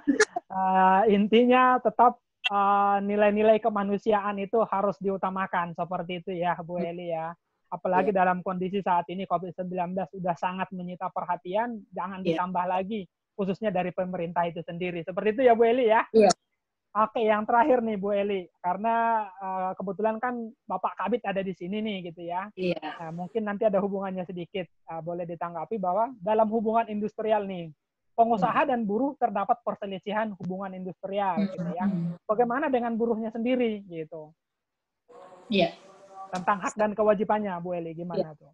Saya tertarik dengan ini karena sebenarnya saya jadi eh, harus diangkat menjadi diplomat gitu karena saya senang sekali eh, saya tidak mau yang konfrontasi gitu tapi bagaimana kita menyelesaikan masalah dengan melakukan komunikasi, eh, negosiasi dan dialog yang baik aja gitu. Misalnya nih, saya juga menyoroti uh, buruh yang uh, kalau bahasa Medan namanya anggar jago gitu kan. Jadi sok sok jago karena dia pemimpin buruh gitu. Lalu dia bayangkan bahwa dia itu bisa mengatur-atur semua negara. Itu kan enggak gitu Bagaimana mungkin uh, pihak lain menghormatimu kalau kamu juga tidak mencoba menghormati mereka duluan? Atau misalnya bagaimana mungkin mereka bisa memberi kalau kita tidak memberi? Atau kalau kamu mau didengarkan, dengarkan dulu mereka. Jadi jangan misalnya uh, pokoknya harus serikat buruh menuntut ini, kalau tidak kami demo segala macam. Saya tidak kurang setuju dengan tuntutan yang membabi buta tanpa kita melihat realitas yang sebenarnya. Mungkin juga kalau saya pengusaha, mungkin saya akan jadi pengusaha yang lalim kali, yang yang jahat gitu, karena melihat buruh seperti itu saya pasti marah gitu. Tapi karena saya juga serikat buruh, saya hanya bisa mencoba mengatakan begini, e, buatlah diri kamu itu menjadi partner yang memang tidak harus dihindari ketika bertemu. Jadi uh, hormatilah mereka. Kamu kan mau minta sesuatu karena kamu bekerja di dalam perusahaan itu. Bagaimana mungkin kamu sudah memaki-maki duluan, padahal kamu sebenarnya mau minta sesuatu. Nah, karena kita omongan kasar kita ini kan akhirnya tidak mau lagi dong pengusaha mendengar kita.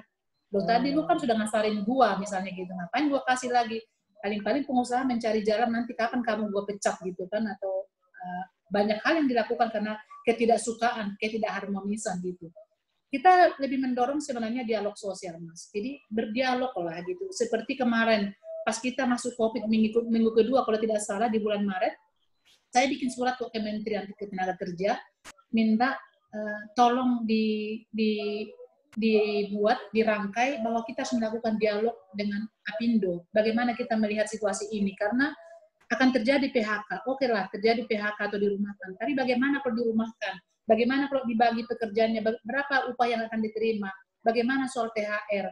Kalau dirumahkan atau di PHK ketika terbuka kembali nanti pekerjaan itu, apakah mereka juga dipanggil kembali atau bagaimana? Itu kan perlu ada kesepakatan gitu. Nah, memang menakir itu tidak membalas sampai sekarang gitu. Tapi itu kemarahan saya karena kita tidak meminta uang, hanya minta eh, mari kita berdialog, mari kita berdiskusi bagaimana kita melihat COVID ini dan bagaimana masa depan gitu. Tapi terlepas dari kementerian karena kita tidak boleh menggantungkan eh, apa pun terhadap orang lain. Tapi kalau misalnya kita bekerja di serikat buruh, apa yang menurut strategi apa yang harus kami lakukan di internalmu sendiri? Lalu saya suratin semua. Kita ada di 2.500an perusahaan ya sebenarnya. Di, uh, ada di perusahaan kecil dan uh, di perusahaan multinasional. Kita surati, lakukan dialog dengan pengusahamu. Lakukan dialog dengan manajemen. Bagaimana kamu soal THR-mu, soal upah, soal pembatasan jam kerja, segala macam. Memang berhasil kok banyak, tapi yang lain kan tidak mau, tidak berhasil karena satu kapasitas untuk berunding tidak dipunyai, satu kecurigaan-kecurigaan, satu lagi ketidakmauan dan uh, mengharapkan pemerintah lah yang akan mengatasi semua atau pengusaha harus membayar mereka 100% walaupun mereka tidak bekerja tiga bulan kan masuk akal gitu. Jadi satu-satunya adalah melakukan dialog Eh, karena itu seharusnya yang dilakukan buruh. Itu kewajiban kita gitu. Lakukan dialog dengan pengusaha. Lalu kewajiban pengusaha apa? Ya mendengar dan dialog juga gitu. Memutuskan bersama-sama. Jadi yang memang kita lihat gagal, uh, memang uh, saya tidak akan mengatakan pengusaha itu jahat ya semua ya. Ada sih yang sangat baik, ada yang setengah baik, ada juga yang memang agak agak nakal gitu. Tapi saya tidak mau mengeneralisir karena uh, kalau saya katakan bahwa mereka jahat buruk, kenapa kami bisa berdiri di perusahaan mereka kan itu adalah sebuah uh, apa namanya uh, uh, gambaran yang harus kita publikasikan bahwa uh, mereka tidak semua seperti yang dikatakan orang gitu tapi memang seperti yang saya katakan tadi bahwa banyak serikat buruh yang sok jago angker jago jadi preman kecil karena dia sudah berdiri di sana lalu mengajari anak-anak buruh yang di sana itu untuk melawan manajemen Padahal sebenarnya yang diberikan adalah pendidikan bagaimana kamu bernegosiasi, bagaimana kamu mendapatkan hakmu dengan melakukan dialog, bukan uh, meminta untuk melawan atau melakukan aksi secara terus-menerus. Jadi masih ada yang gagal pengetahuan buruh soal dialog sosial karena ketika kita berfoto dengan uh, ketua Apindo, nanti saya sudah dibilang sudah kong kali kong dengan Apindo. Saya berfoto dengan uh, Menteri Tenaga Kerja dibilang saya kong kali kong dengan Menteri Tenaga Kerja. Saya berfoto sama Pak Jokowi dibilang bahwa saya akan dihadiahi komisaris. Jadi banyak sekali kecurigaan-kecurigaan padahal kita harus duduk bersama untuk bisa uh, menawarkan sesuatu yang memang kita inginkan terlepas itu berhasil 100% dalam 50%. Demikian, Mas.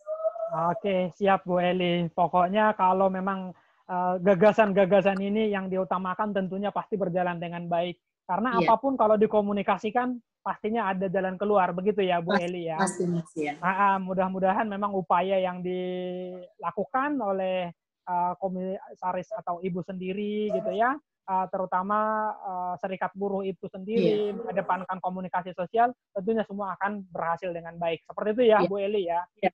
Oke, okay, kita terima kasih Bu Eli. Kita yeah. lanjutkan kepada narasumber yang ketiga yang dari tadi dia udah senyum-senyum. Bang Rafael siap, Bang?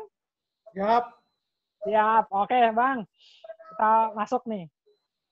Uh, rancangan Undang-Undang Cipta Kerja yang digagas oleh Omnibus Law gitu ya, dinilai oleh elemen pekerja atau buruh lebih memihak kepada investor dan sifatnya uh, ekonomi sentris, bukan pada kesejahteraan, Bang.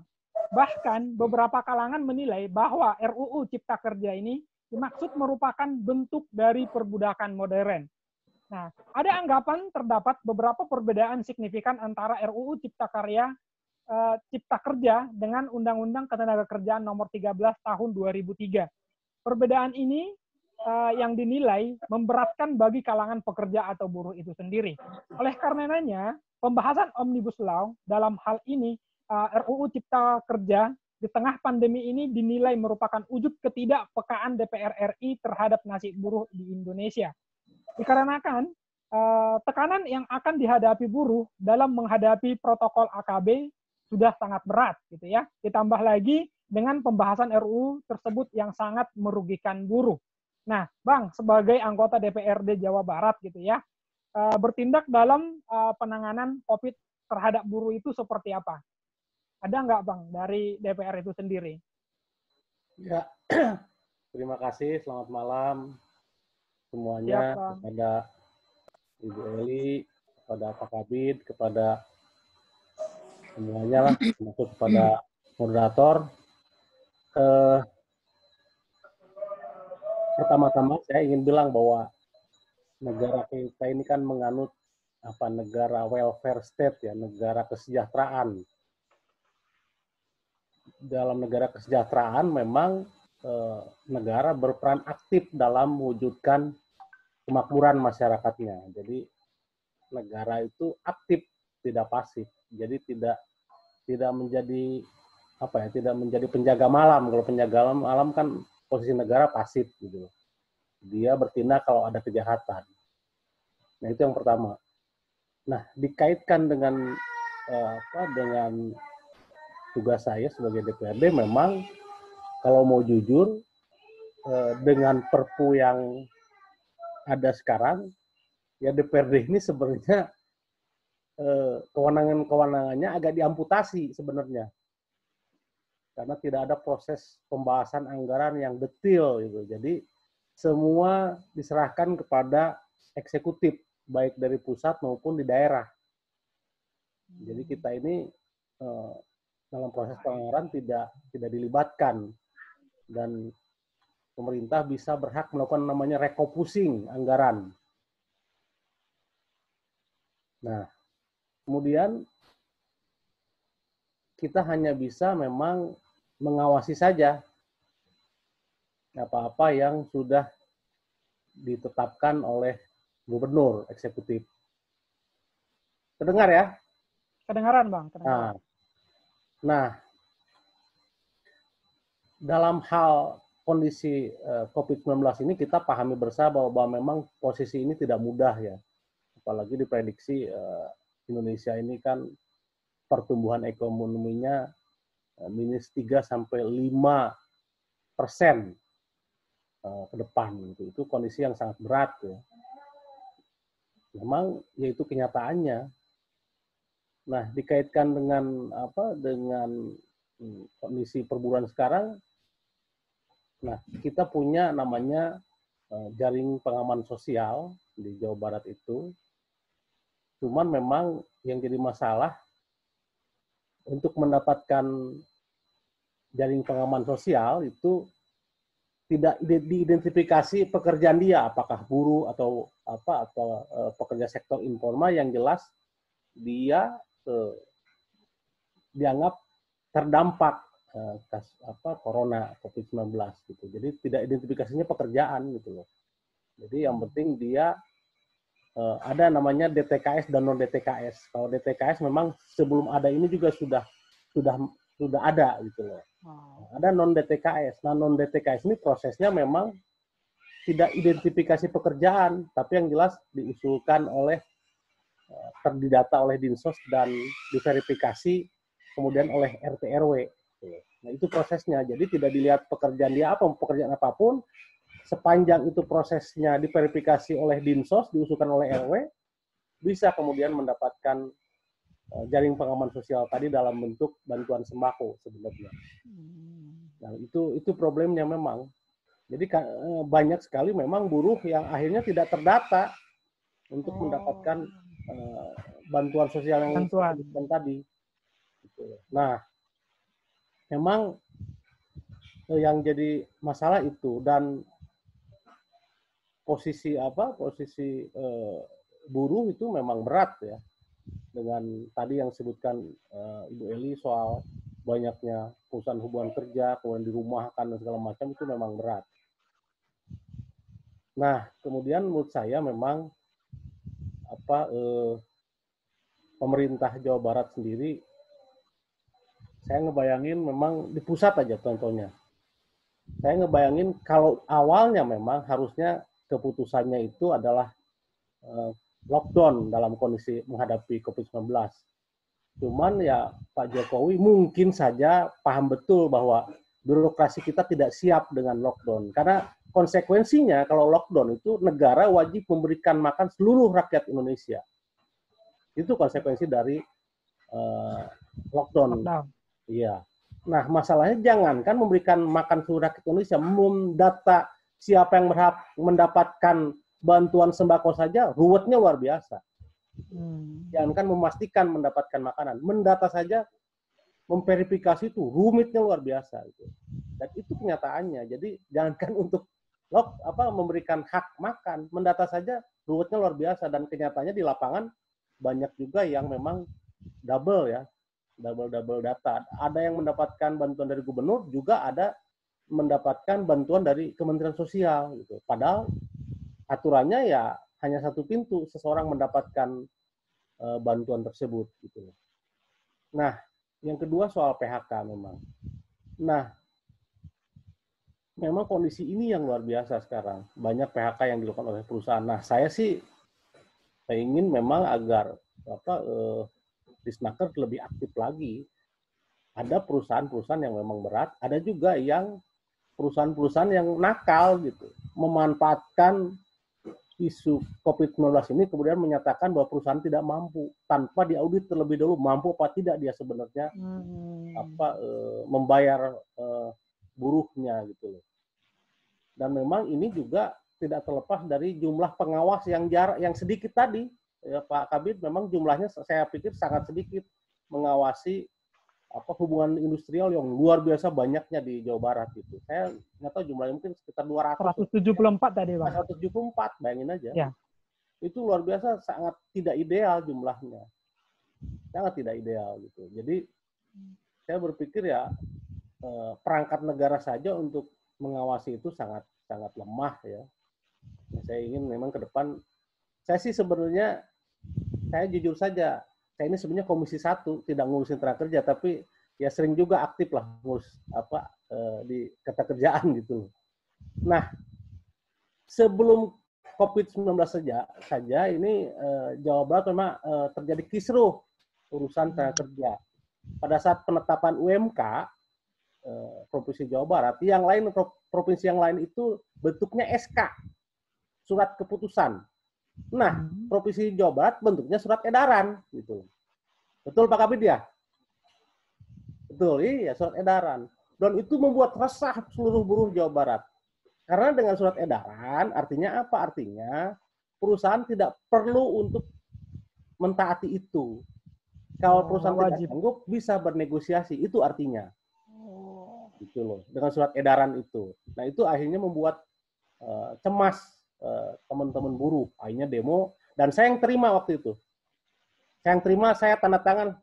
Saya bilang saya menolak SK, eh menolak surat edaran dari Gubernur Ridwan Kamil waktu itu. Ada berapa orang? Tiga anggota DPRD termasuk saya sendiri eh, menolak uh, surat apa surat edaran karena bagi saya nggak betul itu surat edaran.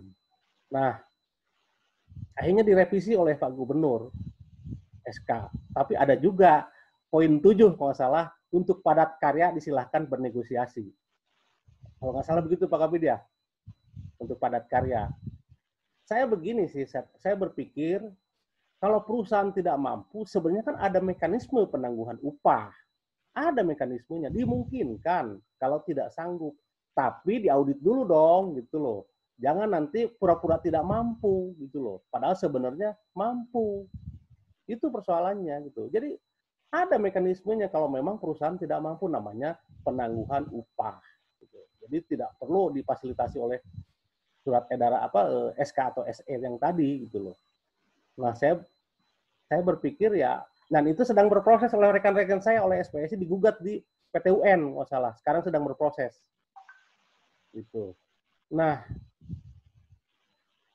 itu yang tadi. Nah eh, Kemudian memang dalam implementasinya banyak masalah eh, terkait dengan eh, COVID-19 ini dalam perburuhan. Nah sekarang saja mungkin Pak Kabit tahu CV Sandang Sari sedang bermasalah itu.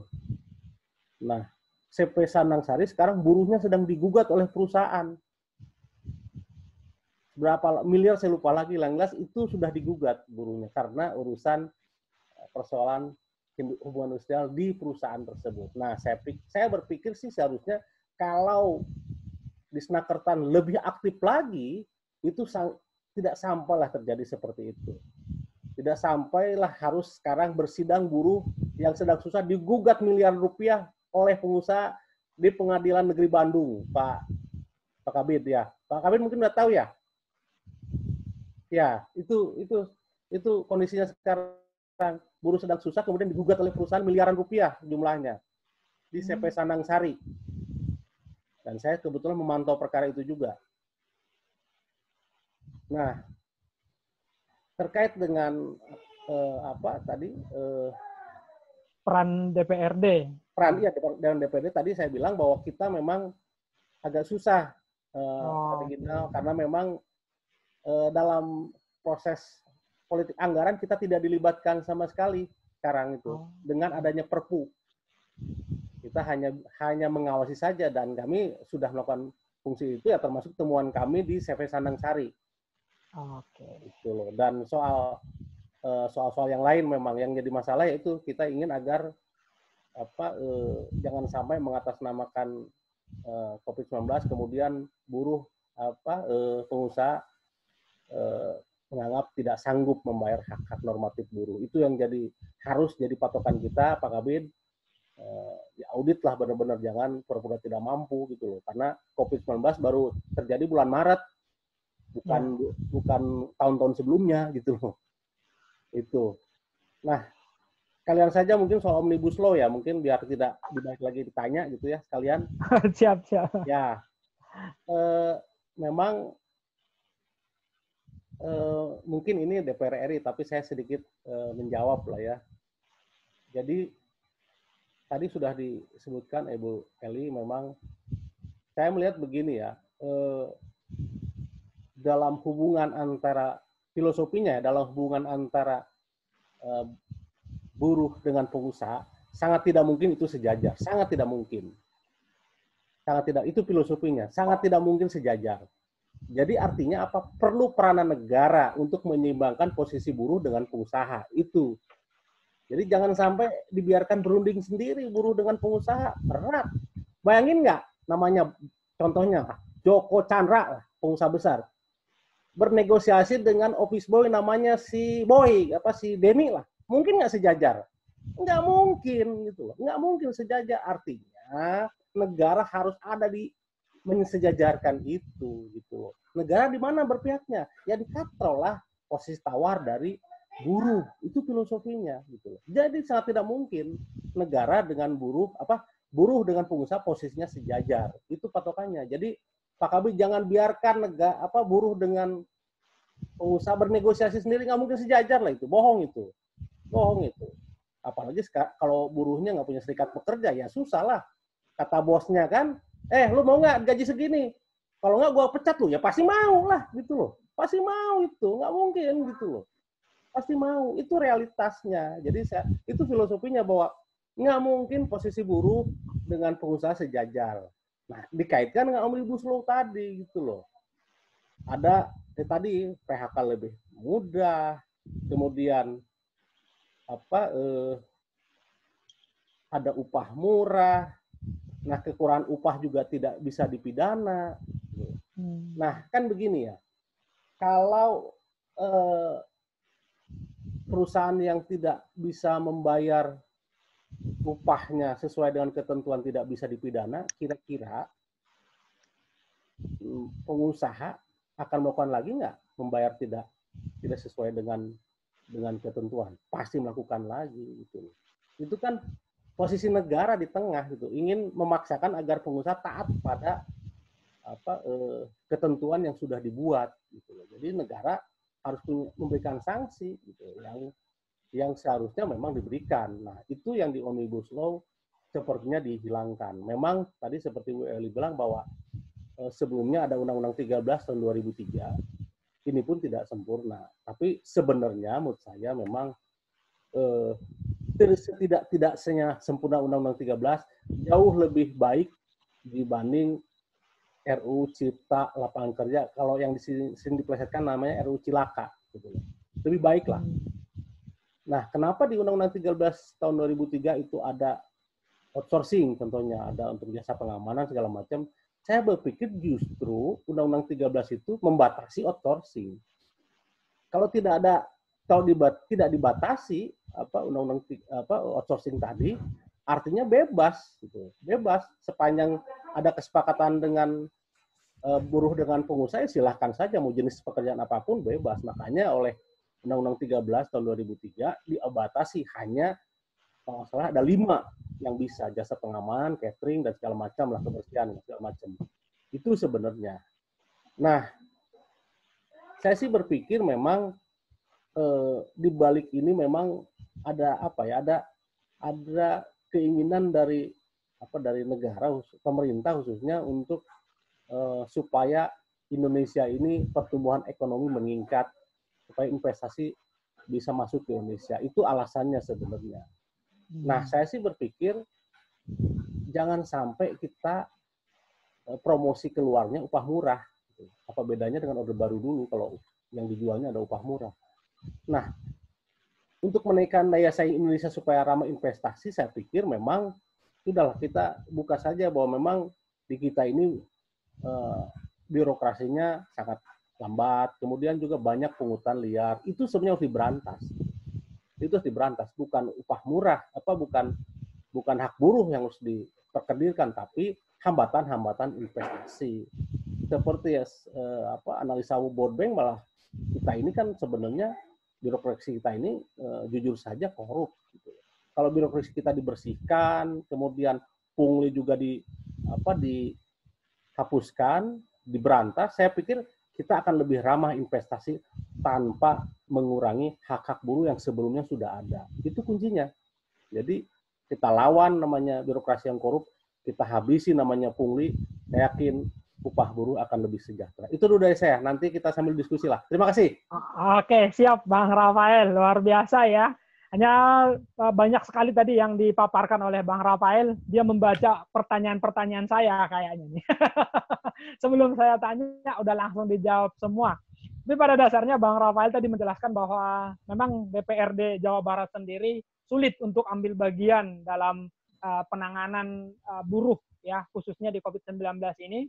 Tapi tadi uh, Bang Rafael juga menegaskan sebagai anggota dewan gitu ya di Jawa Barat mereka siap juga untuk memediasi dan menerima laporan-laporan kalaupun sampai ada pelanggaran-pelanggaran. Bahkan tadi Bang Rafael menegaskan di sini uh, kepada Disnaker Trans supaya mungkin pengawasannya lebih diketatkan, Pak Hendra gitu ya. Karena tadi uh, Bang Rafael bilang untuk 174 pengawas itu sejauh Barat itu masih sangat minim. Jadi perlu ditambah. Terus nanti untuk eh, perusahaan-perusahaan yang menyatakan ketidaksanggupannya itu juga harus dilakukan audit supaya memang benar seperti itu ya Bang ya. Rafael ya supaya tidak jadi ketimpangan ataupun nanti ternyata ada pembohongan publik seperti itu ya. ya. Oke, seperti itu luar biasa. Tiga narasumber kita pada malam hari ini sudah memaparkan banyak hal dan kita juga sudah banyak dapat dari pemaparan-pemaparan beliau bertiga ini. Nah, di sini juga ada pertanyaan-pertanyaan dari Google Form dan kita sudah uh, mengumpulkan pertanyaan-pertanyaan itu dan bagi penanya yang berhasil itu kita akan berikan hadiah gitu ya. Jadi nanti yang pertanyaannya ini dari tim kami sudah diseleksi gitu ya, masuk artinya beliau akan dapat hadiah dari panitia. Oke, pertanyaan pertama ini datang dari uh, Gek Ramda ya, uh, dari Kang Ramda ya, itu dari Denpasar.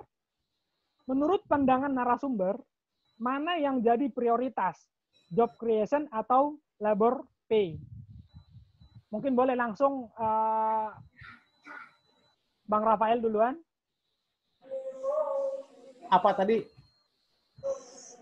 Mana uh, menurut Abang nih gitu ya, pandangan narasumber ini gitu ya, Abang sendiri, mana yang jadi prioritas? dari job creation atau labor pay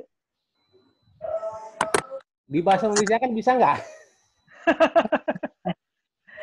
Eh, itu eh, itu apa namanya model bisnis baru itu gitu kan Eh, pandangan abang sendiri dengan eh, pembayaran tenaga kerja itu bagaimana atau gitu, penciptaan lapangan kerja, penciptaan lapangan kerja atau pembayaran buruh atau upah Ah, buruh mana yang lebih mana yang lebih bagus Oh, siap, siap, siap. Jadi eh, begini ya, memang revolusi digital ini eh, ada ada ada hambatan dan ada juga peluang ya. Itu itu yang kita hadapi sekarang re- revolusi digital.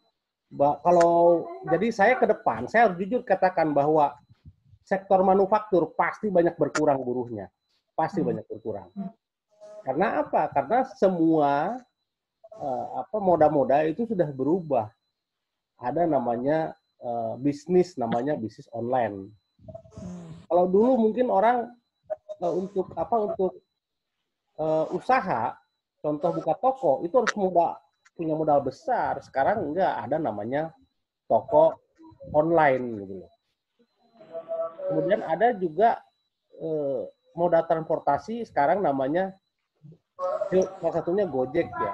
Dia dia hanya punya aplikasi tapi bisa menghubungkan antara konsumen dengan yang punya motor gitu. Itu itu revolusi digital yang luar biasa. Dan itu harus kita hadapi bersama dan saya berpikir memang negara harus menyiapkan ini, menyiapkan moda-moda apa eh, moda-moda bisnis baru yang ke depan harus disiapkan oleh pemerintah dan itu itu realitas dari revolusi digital. Jadi saya tidak menafikan salah satunya.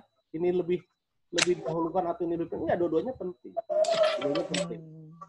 Kalau yang ada sektor manufaktur ya itu tetap- negara harus tetap memikirkan dan eh, job kreasi baru juga negara harus harus memfasilitasi. Karena itu sebuah tantangan industri ke depan. Bagaimana sekarang ada eh, apa namanya usaha-usaha yang mengandalkan revolusi digital. Ada startup startup muda.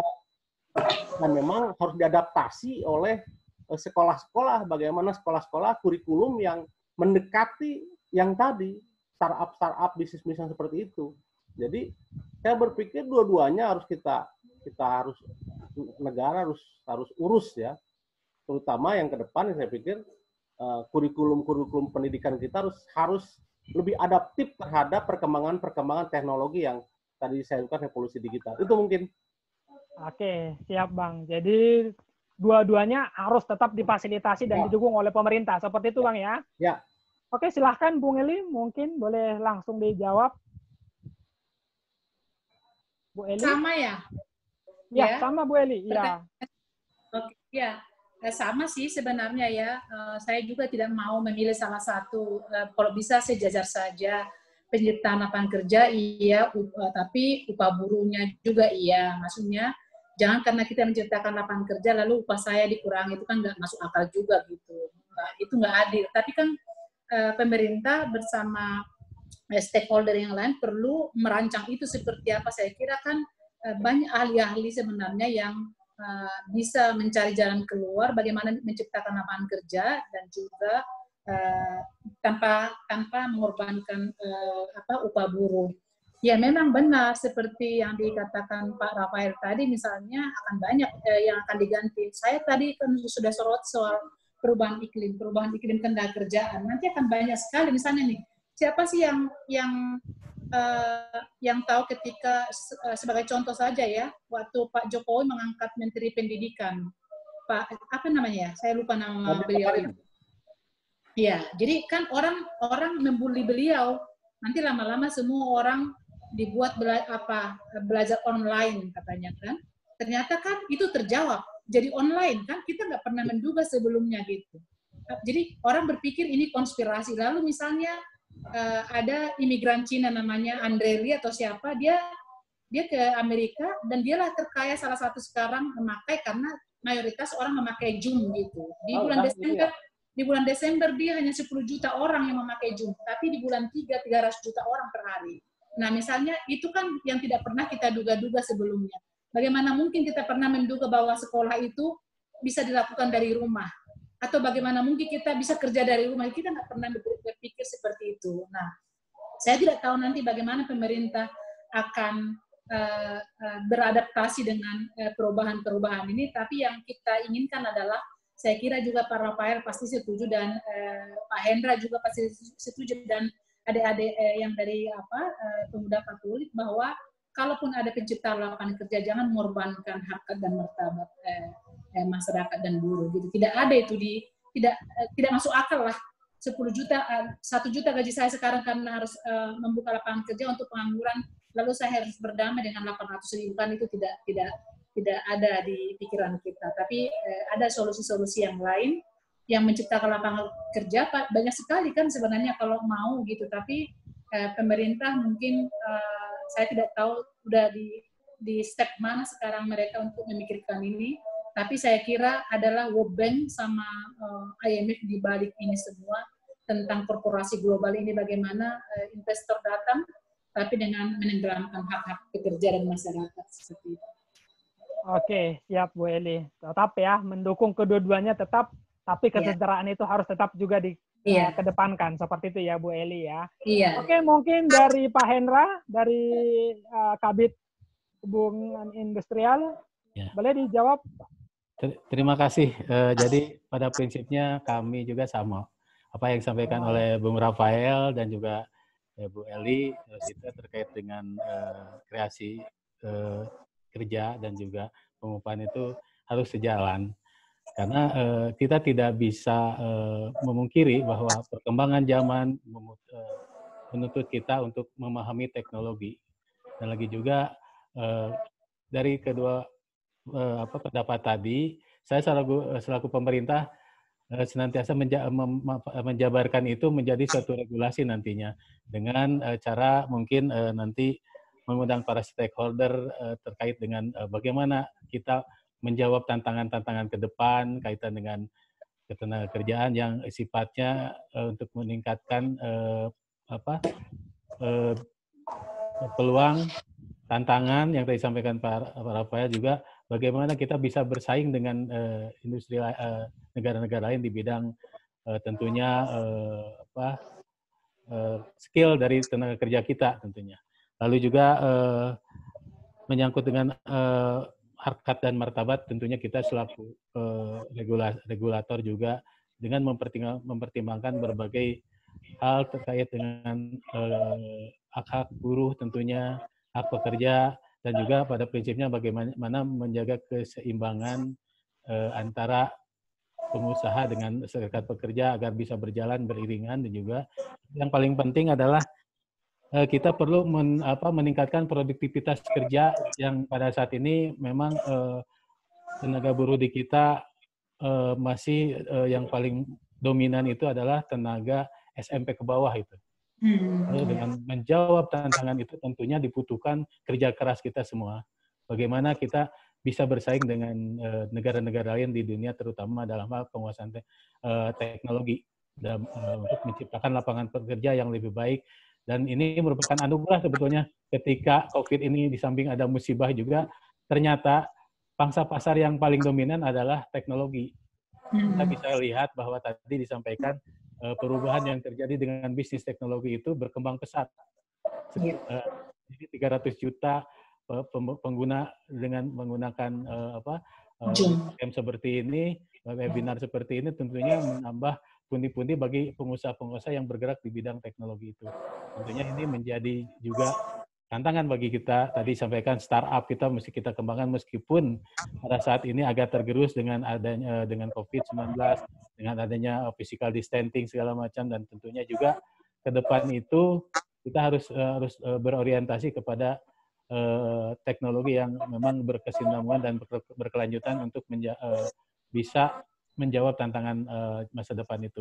Dan tentunya kita sebagai regulator uh, tadi sampaikan uh, mengakomodir uh, dari aspek uh, peningkatan keterampilan dengan menambah kurikulum-kurikulum bagi uh, lembaga keterampilan yang ada di uh, di tentunya BLK BLK yang bisa me, menjawab ataupun mencetak tenaga-tenaga yang siap kerja dengan uh, tuntutan uh, kemajuan zaman terutama uh, apa penguasaan teknologi itu.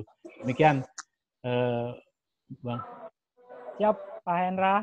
Eh, Pak Hendra, tadi uh, ada tanggapan dari apa yang saya sampaikan atau tadi yang dari Bang Rafael sampaikan nggak, Pak Hendra? Ya, ya uh, saya ingin uh, terima kasih uh, Pak Rafael juga ya, tentunya mewakili uh, legislatif juga memang pada prinsipnya uh, kendala kita dalam mengawasi perusahaan-perusahaan itu terkendala dengan personil. Di mana uh, hasil OLKP itu wajib lapor perusahaan itu ada sekitar 47.700 perusahaan yang harus kita awasi dan uh, ini akan akan menjadi hambatan ketika kita personil kita cuma 174 dan terima kasih juga masukannya nanti juga bagaimana kita mensikapi uh, terhadap ketimpangan-ketimpangan itu dan juga meningkatkan kinerja. Jangan sampai nanti yang disampaikan dengan COVID ini berbagai alasan saat perusahaan menjadikan uh, uh, apa uh, kegiatan apa COVID ini peristiwa COVID ini uh, dia berus uh, menjadi uh, alasan untuk bisa mem-PHK ataupun alasan-alasan lain yang tidak terbukti. Tentunya uh, sebaiknya ke depan kita baik di bidang seri, uh, di serikat tentunya. Saya berharap Pak Rafael di di uh, LKS itu uh, saya selalu selalu menghimbau kepada teman-teman di serikat itu ada divisi audit. Jadi kebanyakan ahli hukum semua Pak Rafael. Oh iya. Ya, auditnya harus ada. Saya itu audit uh, artinya dia paham tentang mikroekonomi lah. Jadi jangan sampai uh, dikelabui atau gimana gitu kan. Kalau secara kan perusahaan itu ada laporan keuangan untuk uh, para uh, penyimpan modal, ada laporan untuk uh, pajak, ada laporan untuk itulah segala macam begitu kan. Jadi saya harap di, di serikat pekerja itu ada divisi ataupun bidang yang memang mempunyai uh, talenta ataupun punya latar belakang tentang audit itu, terutama dari akunting akuntingnya. Jadi iya, ada keseimbangan. Jadi kita bisa, bisa melihat secara jernih gitu. Kalau memang perusahaan perusahaan itu tidak mampu benar-benar tidak mampu mm-hmm. ataukah memang tadi yang tadi itu ada alasan-alasan yang memang ada siasat tidak baik begitu yeah. sehingga perlu ke depan itu SPSP itu minimal punya auditor auditor uh, dari uh, yang yang independen maksudnya banyak sekarang lulusan-lulusan muda dari uh, tenaga uh, dari uh, apa lulusan dari uh, uh, sekolah tinggi akuntansi yang terkemuka banyak sekali itu bisa dimanfaatkan oleh kita. Bagaimana itu supaya menjaga keseimbangan dan informasi yang lebih valid. Karena kita bermain dengan data gitu, dengan ya, bukan bermain iya. dengan isu dan hmm. dan opini begitu. Kalau terbuka validitas data fakta ter, ada di sini kita main, marilah kita audit bareng-bareng di, di mediasi oleh dinas sebetulnya gitu kan. Nah, dinas kerjaan juga nanti menyiapkan orang-orang yang uh, seksi auditor misalkan untuk perusahaan dan untuk itu kita itu sepertinya untuk menjawab tantangan ke depan terjadi uh, terkait dengan problem ketenagakerjaan. Begitu uh, Pak okay. Rafael juga teman-teman yang lain yang yang saya menanggapi dari uh, hasil dari pertemuan kali ini. Terima kasih. Oke, siap Pak Hendra. Terima kasih banyak untuk tanggapannya. Cukup menjawab ya Bang Rafael ya. Ya. Oke, selanjutnya penanya yang berhasil dapat hadiah dari kita itu dari saudara saudari ini ya, Adriana Antonia dari Stipan Depok. Pertanyaannya adalah, bagaimana cara mengatasi pengangguran di masa pandemi ini? Boleh. Kira-kira seperti apa nih, Bang Rafael? Gimana, Bang? Nah, ada pertanyaan nih, Bang. Katanya, bagaimana mengatasi pengangguran di era pandemi ini? Ya, di era pandemi ini justru persoalannya pengangguran pasti bertambah. Iya. Pasti bertambah. Itu tidak bisa kita pungkiri karena pertumbuhan ekonominya jadi minus. Hmm. Pasti berkonsekuensi pada daya serap lapangan kerja. Nah, justru tugas negara lah nanti. Yang saya tahu begini, eh, pemerintah provinsi Jawa Barat itu pada pada saat melakukan refocusing anggaran itu salah satunya adalah nanti ke depan itu akan mengatasi dampak dari eh, COVID-19 termasuk adalah apa uh, menggulirkan apa roda ekonomi gitu. Jadi ada semacam stimulus lah. Stimulus dari uh, Pemprov Jabar untuk menggulirkan roda ekonomi mengatasi dampak dari COVID-19. Nah, bentuknya seperti apa memang belum kami belum dijelaskan kepada kami begitu. Nah, kami akan kawal ini bagaimana nanti prosesnya, programnya seperti apa. Mudah-mudahan ini bisa apa eh, sedikit banyak menyerap eh, lapangan kerja. Mungkin yang kalau salah di sektor padat karya nanti ke depan. Begitu. Nah, kami akan kawal itu. Nah, Terima kasih, kedua, Bang. Iya tadi eh, anak-anak muda eh, dengan adanya COVID-19 ini bisa lebih kreatif gitu, bisa lebih kreatif dengan dengan menggunakan revolusi digital tadi, memanfaatkan YouTube segala macam dan kita bisa merangsang itu untuk uh, untuk uh, menjual produk-produk yang uh, yang apa yang berbasis pada digital. Nah, saya yakin justru itu harus diperkuat sekarang. Karena bicara sektor manufaktur pasti daya serap lapangan kerjanya pasti lemah. Itu. Oke, siap Ban Rafael. Mungkin dari Pak Hendra ada yang mau ditanggapin, Pak? Kira-kira ada ide apa untuk uh, menangani atau mengatasi pengangguran pada masa pandemi ini? Dari kami mungkin uh, mengurangi pengangguran di antaranya tentunya dengan banyak yang tadi uh, pertumbuhan ekonomi yang minus dengan dari banyaknya perusahaan yang mem-PHK. Persiapan kita adalah bagaimana mereka tetap uh, eksis di uh, kita sudah melakukan serangkaian uh, membuat uh, program pelatihan reskilling dan juga uh, BLK mandiri bagaimana uh, yang tadinya dia bekerja uh, di satu perusahaan mereka bisa bekerja uh, bekerja untuk dirinya sendiri dengan pembekalan keterampilan-keterampilan yang sudah dilakukan oleh BLK Mandiri, Pak. Tentunya juga uh, mohon dukungan Pak Rafael nantinya dari aspek anggaran. Ya. Uh, BL, uh, jadi uh, kurikulum kita ditambah BLK BLK yang ada di BLK Mandiri, BLK kompetensi untuk bisa menyerap bagaimana mereka bisa di, bisa uh, melakukan wirausaha gitu. Ya. Lalu juga terhadap perusahaan-perusahaan yang mem-PHK itu juga uh, ada pola uh, yang namanya output uh, input by output dengan kita melatih uh, spek pekerjaan uh, yang di yang sementara mereka itu ter PHK nah, mereka punya produk, uh, perusahaan punya produk dan produk itu kemudian uh, dilakukan kerjasama dengan melibatkan UMKM Pak Rafael.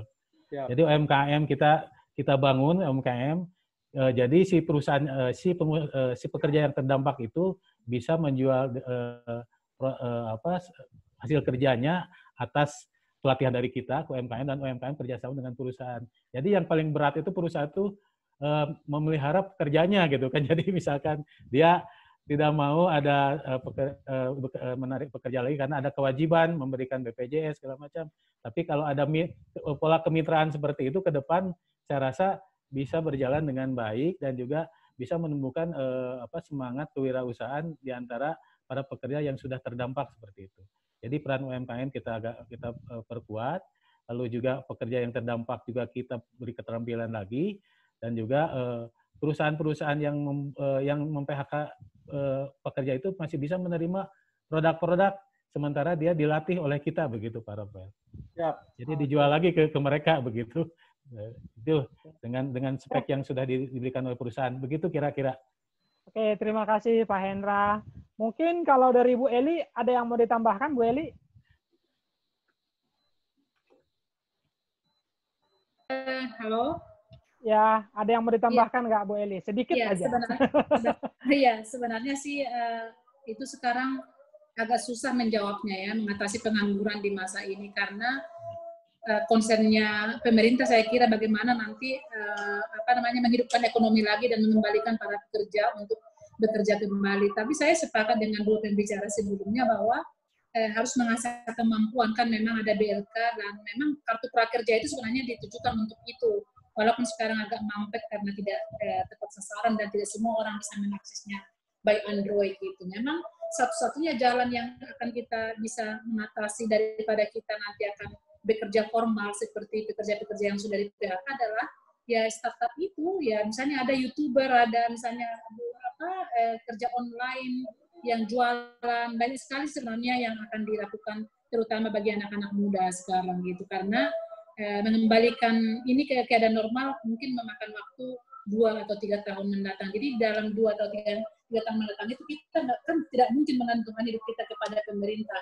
Kita harus sebenarnya uh, harus bisa mencoba saya sendiri sepakat mencoba beradaptasi dengan keadaan dan ciptakan hal-hal yang bisa memang membuat kita hidup gitu. Untuk untuk memaksa pemerintah untuk uh, membuat kita sekarang bekerja uh, seperti yang keadaan normal, memaksa di dalam keadaan tidak normal kan tidak mungkin gitu. Jadi ini semua pihak harus bekerja sama memikirkan bagaimana solusinya karena menyalahkan pemerintah saat ini dan pengusaha sangat tidak tepat.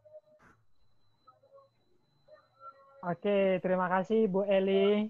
Uh, ya. Bapak Ibu, para narasumber, ini kita sudah jam 9 gitu ya. Tapi ya. animo peserta pertanyaan masih sangat banyak gitu ya. Dari tadi kita dari 30 dari 50 peserta tadi yang masuk sampai dengan saat ini masih bertahan itu di 33 orang peserta. Lumayan ya. Artinya ah animonya sangat tinggi nih Bu Eli sama Bang iya. Rafael juga Pak Hendra. Nah, boleh izin kita tambahin waktunya 15 menit ke depan setuju ya? Oke lah. Oke ya. ah, jadi kalau setuju kita lanjutin nih, gitu ya. Oke, okay. uh, eh, pertanyaan ketiga adalah datang dari saudari Citra dari Lampung. Uh, pertanyaannya begini, mengikuti isu yang berkembang saat ini, beberapa pihak meminta agar pemerintah Indonesia dapat mengambil langkah tegas dalam penanganan kemiskinan akibat pengangguran. Salah satunya dengan uh, moratorium tenaga kerja asing atau TKA yang masuk ke Indonesia supaya lebih mengutamakan tenaga kerja Indonesia untuk semua level pekerjaan. Pertanyaannya, bagaimana pandangan narasumber terkait hal tersebut? Nomor dua, jika moratorium TKA diberlakukan, bagaimana pengaruh terhadap hubungan kerjasama investasi dengan negara lain? Terima kasih. Boleh, Bu Eli aja langsung? Iya, kalau uh, saya kira, Mas, uh, itu tidak tidak menjadi solusi saya kira ya soal moratorium itu. Jadi gini sekarang kita belum pernah mendapatkan sebenarnya perbandingan TKA itu dengan tenaga kerja pribumi itu seperti apa gitu. Itu kan sekarang kita hanya panas melihat mereka datang di Morwali sekian gitu. Nah, dan saya baru-baru ini dengan uh, International Trade Union Confederation pergi ke Dubes Cina karena keributan-keributan yang disuarakan oleh masyarakat. Jadi Kedubes Cina mengatakan di sini bahwa tidak pernah ada pengaduan dari badan mana pun soal uh, terlalu banyaknya TKA itu yang menguasai uh, lahan-lahan pekerjaan di Indonesia gitu. Jadi ada disebut soal angka misalnya dari kami cuma 3000 eh, dari kami cuma eh, 570 orang tapi yang kerja di sana itu 30 ribu. Lalu itu tenaga ahli. Nah ini kan harus perlu data. Jadi kita jangan terlalu saya kira data itu perlu. Jangan misalnya membabi buta kita membombastis bahwa TKA itu sudah merebut posisi-posisi atau pekerjaan di Indonesia. Nah, yang kita memang uh, tidak suka adalah apabila kerja yang bisa dilakukan oleh Indonesia, misalnya buruh-buruh kasar misalnya sama sekali, kan kita tidak kekurangan tenaga kerja, kenapa harus datangkan dari sana gitu. Saya kira misalnya hubungannya, kita kan tidak tahu seperti apa sebenarnya, uh, saya selalu berpendapat begini, Eh, sebagai contoh saja ya kalau hubungan diplomatik ini benar atau tidak gitu. Di saat Amerika dan Peru itu uh, sebenarnya kan ribut mereka, nggak pernah berdamai. Eh Kuba, Kuba sorry.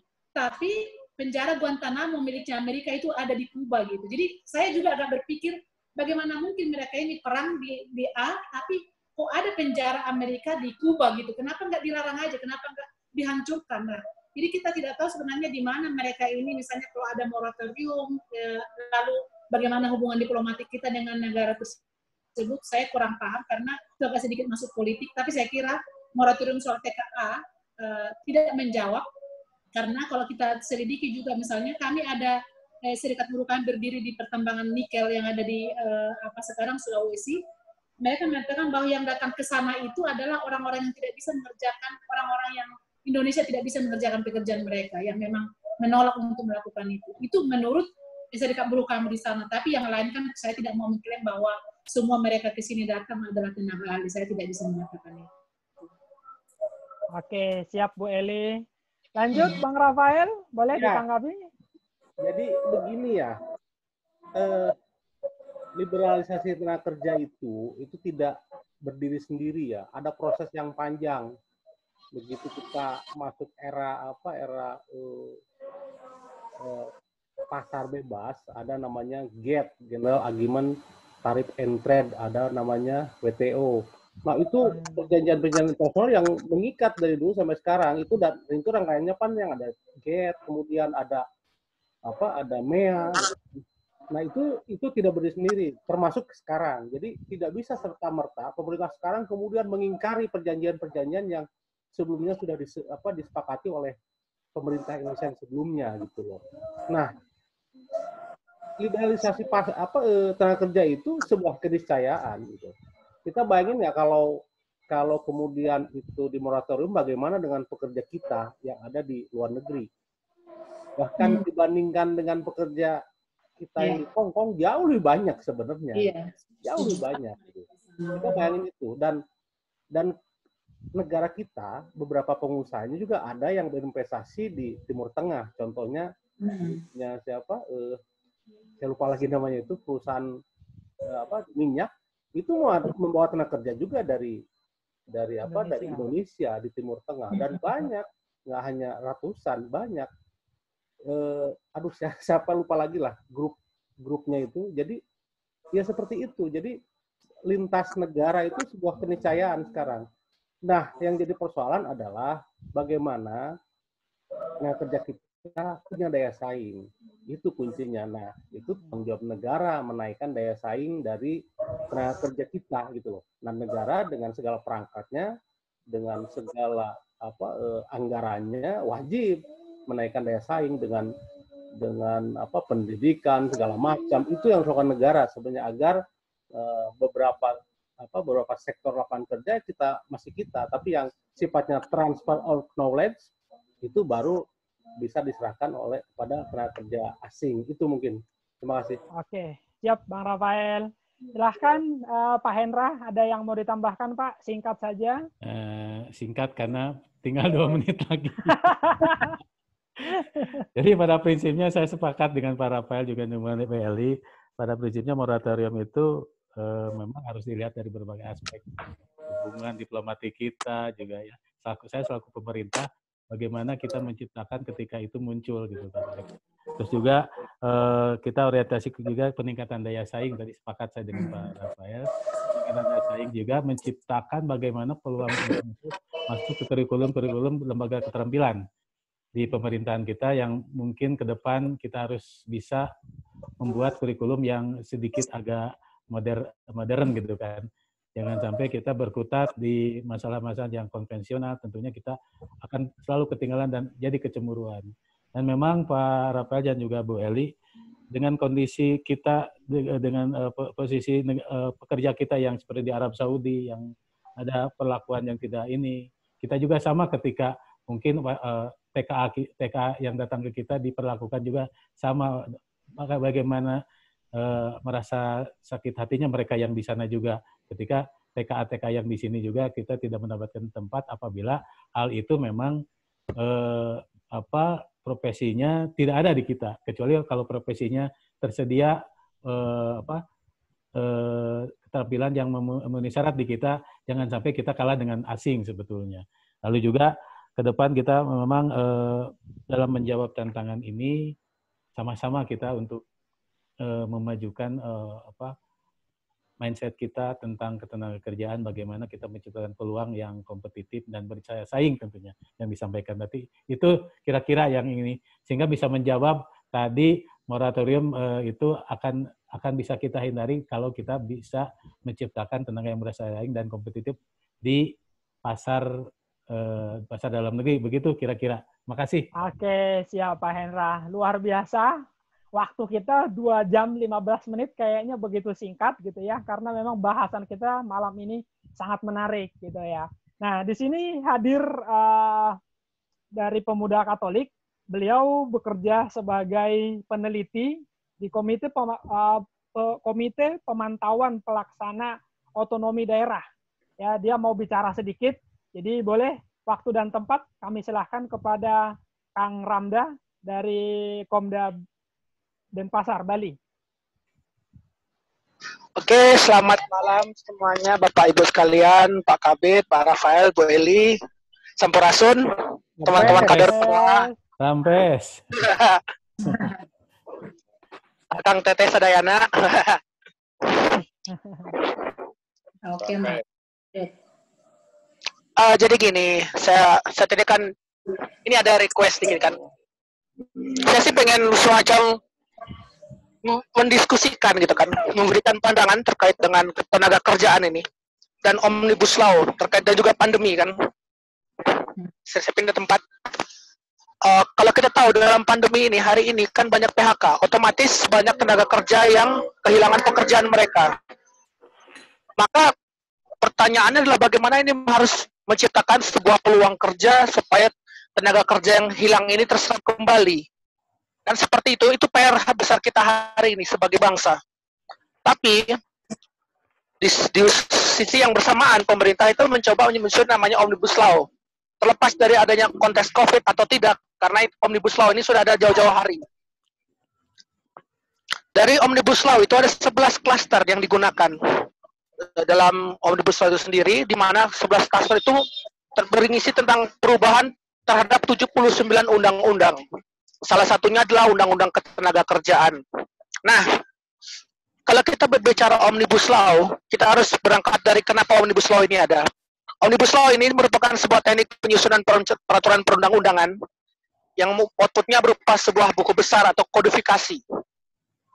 Jadi kodifikasinya itu kalau ke hari ini kita bicara soal RUU Cipta Kerja namanya. Nah, dalam RUU Cipta Kerja itu kita dihadapkan pada kenyataan bahwa Global Competitiveness Index Indonesia itu masih rendah. Begitu juga indeks ease of doing business, kemudahan berusaha. Kita juga masih dibilang rendah dibandingkan dengan negara-negara lain. Bahkan di Oh, nggih. Kita lebih rendah daripada negara-negara lain bahkan di level Asia Tenggara. Kita masih kalah dengan Vietnam, Thailand, Singapura, Malaysia. Bahkan kita juga punya cita-cita kan kita akan menjadi negara besar di tahun 2045. Mungkin ini adalah salah satu starting step gitu ya, langkah mengawalinya. Hanya ternyata dalam proses penyusunannya, Omnibus Law ini, RUU Cipta Kerja ini lebih banyak mengatur tentang berusaha. Artinya memang RUU ini diciptakan untuk investor. Bisa dibilang seperti itu. Bagaimana caranya nanti investasi itu datang untuk menciptakan lapangan-lapangan pekerjaan. Itu cita-citanya. Tapi statistik menunjukkan bahwa dari tahun 2013 bahkan sampai tahun 2019 data dari BKPM ini bisa dicek. Setiap tahun investasi kita tuh meningkat. Hanya masalahnya jumlah penyerapan tenaga kerja setiap tahun menurun. Ini artinya apa? Bahwa investasi yang meningkat itu belum tentu menciptakan penyerapan tenaga kerja. Itu permasalahan. Tapi yang dikerjakan oleh pemerintah saat ini adalah bagaimana caranya supaya angka investasi ini datang. Terutama foreign direct investment atau investasi asing. Itu yang memang benar-benar jadi tujuan. Makanya juga dibuat lagi satu Omnibus Law. RU ketentuan fasilitas perpajakan untuk penguatan perekonomian. Kan itu ada dua Omnibus Law yang akan dibahas dalam waktu ini kan. Nah, kalau kita melihat lagi secara substansi, sebenarnya dalam penyusunan perundang-undangan itu ada dua paradigma yang berkaitan dengan kebijakan publik. Yang pertama paradigma competitiveness, yang kedua adalah representativeness. Nah, kalau paradigma competitiveness itu dia mau memasukkan agenda-agenda global dalam suatu kebijakan publik. Ini tadi saya katakan bahwa kita mengambil masalah terkait dengan Global Competitiveness Index, Ease of Doing Business, yang itu merupakan persaingan global. Maka di agenda-agenda tersebut, cita-cita tersebut dijadikan sebuah goal supaya competitiveness kita meningkat, lalu ease of doing business kita meningkat, maka dibuatlah aturan-aturan ini. Sehingga bisa disimpulkan sementara bahwa RU Cipta Kerja ini menggunakan paradigma competitiveness dalam penyusunannya. Tapi terkait dengan ketenaga kerjaan, ini sedikit berbeda. Karena ketenaga kerja tidak bisa dibahas dengan cara competitiveness. Ini istilahnya kalau kita berbicara undang-undang untuk menyiapkan investasi, menciptakan lapangan kerja itu dari sisi supply side. Artinya kita dari sisi perusahaan yang kita bicara. Tapi dari sisi tenaga kerja, kita tidak bisa menggunakan paradigma yang sama. Maka tadi itu ada paradigma yang kedua, representativeness. Jadi yang tadi makanya ada serikat buruh dan lain sebagainya, itu mengupayakan supaya hak-hak buruh dapat terpenuhi dalam RU ini. Nah, prinsip dari representativeness ini adalah bagaimana usulan-usulan dalam kebijakan publik itu datang dari masyarakat, dari akar rumput. Nah, ini yang memang idealnya kalau kita bicara tenaga kerjaan itu benar-benar datang dari sebuah dialog yang sangat berkeadilan, dialog yang kondusif antara tripartit, yaitu kaum buruh, pengusaha, dan juga pemerintah. Tapi dalam proses penyusunannya, apakah tripartit ini sudah terlibat sepenuhnya? Saya tidak tahu secara persis bagaimana, karena itu adalah sebuah proses, hanya kita sebagai pengamat melihatnya. Kalau masih banyak resistensi dari buruh, berarti ada yang salah dari segi proses. Itu sepertinya. Sehingga memang membahas Omnibus Law, apalagi cipta kerja di hadapan dengan kondisi pandemi, ini akan menciptakan suatu kerumitan. Di satu sisi, kita mengharapkan tingkat upah yang bisa dikatakan mesejahterakan buruh. Tapi hari ini, RU Cipta Kerja itu kan banyak melakukan perubahan, terutama pada bagian pesangon, contohnya kompensasi PHK itu banyak perubahan. Ada yang dari dua kali PMTK menjadi satu kali PMTK ada perubahan pada komponen uang penghargaan masa kerja. Nah, perubahan-perubahan ini tentu pasti sangat merugikan buruh. Tapi kita juga dihadapkan pada kenyataan, apakah semua perusahaan mampu membayar membiayai itu? Ternyata tidak. Buktinya saja kita bisa cek ke BLI, itu selalu ada sengketa masalah pesangon setiap tahunnya. Itu artinya apa? Memang perusahaan belum tentu membayar itu sepenuhnya. Itu ada datanya juga dari World Bank, baik juga dari Kementerian Ketenagakerjaan, bahwa dari 100% hanya 27 persen perusahaan yang mampu membayar pesangon atau kompensasi PHK. Itu pun dari 27 persen, 7 persen yang mampu membayar penuh atau arti kita bisa katakan comply, dan 20-nya itu membayar tidak penuh. Artinya dia hanya membayar saja. Apalagi dengan 73 persen. Nah, ini memang permasalahan yang cukup pelik terkait dengan ketenaga kerjaan, maka penting bagi kita untuk memahami situasi dan kondisi terkait ketenaga kerjaan, paradigma di balik setting kebijakan publik ini melalui Omnibus Law. Kita tidak bisa mengatakan Omnibus Law itu tidak perlu-perlu. Apalagi upgrading terhadap Undang-Undang 13 tahun 2003 itu sangat perlu. Perlu sekali. Artinya memang banyak komponen yang harus di-upgrade dalam undang-undang tersebut. Tapi memang dalam proses upgrade ini, memang harus melibatkan juga buruh, pengusaha, dan pemerintah sebagai tripartit. Ini harus duduk bersama untuk menciptakan sebuah regulasi yang berkeadilan. Itu saja pandangan singkat saya. Terima kasih. Oke, terima kasih Bang atas paparannya, atas idenya, atas pandangannya yang juga akan mencerahkan bagi kita tentunya. Yang juga tadi juga sudah dibahas oleh Pak Hendra dari uh, Kabit HI, terus juga sama Bu Eli sebagai uh, Serikat Buruh, terus sama Bang Rafael yang dari anggota Dewan DPRD Jawa Barat tentunya kita semua di sini satu pemikiran gitu ya uh, supaya acara kita ini benar-benar memang nanti kita bisa realisasikan dengan baik. Oke, okay, kita uh, dengarkan nih closing statement dari para narasumber kita. Apa aja nih yang boleh kita petik inti-intinya tentang seminar kita atau webinar kita pada malam hari ini. Bu Eli, boleh closing statementnya dari Bu Eli seperti apa, Bu? Oh iya, jadi Uh, pertama terima kasih untuk kesempatan ini. Uh, saya sih hanya berharap uh, dan selalu uh, mengambil kata-kata saya lupa nanti tolong diingatkan saya bahwa uh, yang yang bukan yang kuat yang bisa bertahan tapi yang mampu beradaptasi. Jadi begitunya kita juga. Kita uh, bukan soal kekuatan, kebanyakan uang segala macam atau kepintaran kita bicara, tapi bagaimana kita bisa beradaptasi dengan semua keadaan ini gitu. Jadi undang-undang juga kita harus beradaptasi, terlepas misalnya pasti ada yang tidak mengena di hati kita, tapi uh, itu adalah sebuah produk yang memang seharusnya uh, di, diimplementasikan sesuai dengan kebutuhan dan harkat dan, dan martabat bangsa.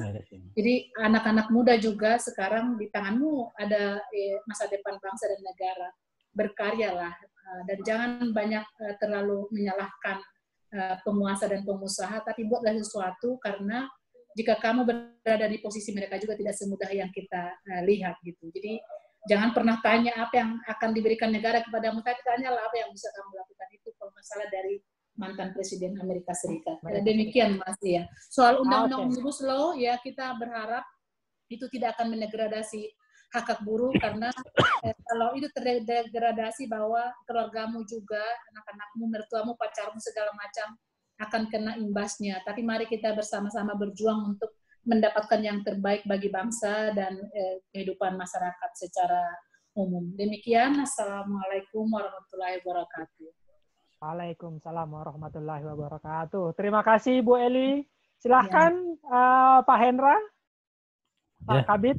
Terima kasih atas waktu closing statement. Uh, saya tidak banyak yang ini sampaikan. Tentunya kita juga berharap dengan uh, eh, COVID-19 itu membawa hikmah yang luar biasa terhadap kita uh, bangsa Indonesia seluruhnya bahwa hmm. dengan kondisi seperti ini kita banyak belajar iya. bagaimana kita uh, bisa melakukan aktivitas-aktivitas yang cukup positif, bagaimana bisa memperhatikan orang lain, bagaimana kita bisa peduli terhadap sesama kita. Tentunya juga dengan kondisi COVID ini, barangkali uh, kami dari Dinas Tenaga Kerja akan selalu menghimbau kepada uh, perusahaan dan juga uh, para pekerja untuk saling berdialog yang disampaikan bahwa dialog itu adalah salah satu unsur dasar ke terciptanya kesepakatan meskipun pada kondisi saat ini hmm. masing-masing masing-masing harus bisa menahan diri dan bisa menciptakan kondisivitas dalam rangka juga uh, di tengah uh, kondisi yang uh, belum tidak pasti ini. Dan tentunya berharap ke depan dengan uh, dengan kondisi seperti sekarang ini menjadi tantangan dan juga uh, modal dasar kita untuk maju. Bagaimana bagaimana kita menciptakan peluang-peluang yang tadi saya sampaikan uh, ternyata di balik musibah itu ada hikmah yang luar biasa yang bisa kita petik dan bisa kita kembangkan. Bagaimana kita membangun uh, stakeholder ketenagakerjaan gitu menjadi lebih baik dan bagaimana kita menciptakan tenaga kerja itu mempunyai uh, uh, uh, kompetitif uh, kompetitif dan daya saing yang baik terutama dalam menjawab tantangan global dalam penguasaan teknologi uh, terhadap dan informasi yang akan menjadi pilar bagi semua unsur uh, tenaga kerja tentunya dan pilar untuk uh, kita berkomunikasi di antara di antara pelaku uh, uh, pelaku usaha dan juga merupakan modal dasar untuk kita maju untuk bisa memahami tanda-tanda zaman. Demikian. Wabillahi Assalamualaikum warahmatullahi wabarakatuh. Waalaikumsalam warahmatullahi wabarakatuh. Eh, terima kasih Pak Hendra. Boleh silahkan Bang Rafael closing statement-nya. Terima kasih. Dari mungkin dari apa dari seluruh isi Alkitab, seluruh ajaran uh, Katolik itu intinya cinta kasih. Dengan cinta kasih kita bisa uh, menyelesaikan eh, persoalan-persoalan kebangsaan kita termasuk uh, buruh dalam kondisi COVID-19 ini. Dan dalam apa dalam wujudkan itu memang antara tidak hanya tanggung jawab negara memang tanggung jawab juga masyarakat jadi ada gotong royong di sini nah saya sih uh, berpikir ke depan uh, teman-teman pemuda Katolik ini perannya harus lebih harus lebih ada gitu loh. Jangan malu lagi untuk mengambil apa ya ya pos-pos inilah pos-pos uh, kekuasaan politik gitu loh. Ada yang dari apa bisa jadi bupati bisa jadi eksekutif gitu. Yes.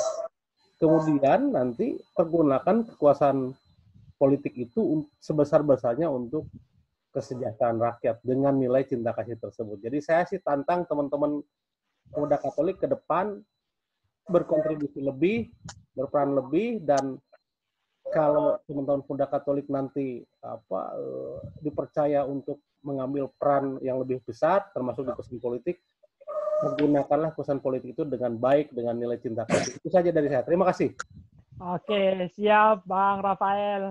Ini Bang Rafael memberikan motivasi kepada kita bukan sebagai narasumber ini, tapi sebagai Dewan Pembina ini. terima kasih Bang Rafael, terima kasih Pak Hendra, terima kasih Bu Eli. Luar biasa ya. malam hari ini acara kita sangat menarik ya. Uh, Bapak Ibu rekan-rekan semuanya yang ada di grup webinar ini mohon maaf sekali karena kita tidak bisa menjawab satu persatu dari pertanyaan Bapak Ibu atau rekan-rekan semuanya karena memang keterbatasan waktu. Tapi tidak mengurangi rasa hormat kami kepada rekan-rekan semua. Uh, Mudah-mudahan pertanyaan Bapak Ibu yang sudah di chat tadi itu sudah terjawab. Dan kalau memang nanti uh, masih ada butuh jawaban, mungkin kami panitia akan uh, ngegerecokin nih atau mungkin kontak langsung kepada Pak Hendra sebagai narasumber, juga kepada Bang Rafael, juga ke Bang Eli terhub, terkait dengan pertanyaan-pertanyaan yang belum kita tuntaskan malam ini. Boleh ya, Bapak, Ibu? Boleh. Ya, Oke, siap. siap. Kalau begitu, artinya semua sudah terjawab, Bapak Ibu. Tim webinar yakin banget gitu ya bahwa diskusi ini uh, memberikan manfaat dan buah-buah pikiran untuk masa depan warga Indonesia terkait dengan pemenuhan hak dan kewajiban pekerja atau buruh bangsa. Setidaknya kini kita mengetahui terdapat tumpang tindih antara peraturan uh, perundang-undangan kita dan pentingnya efisiensi proses perubahan atau pencabutan peraturan perundang-undangan yang tidak tepat. Pemerintah dan buruh memang punya pandangan masing-masing soal pandangan uh, penanganan COVID-19 dan Omnibus Law.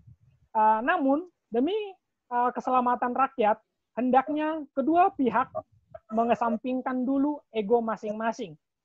Kami meyakini transfer knowledge ini akan memberikan buah yang baik di masa depan dengan uh, dan semoga COVID-19 ini cepat berlalu.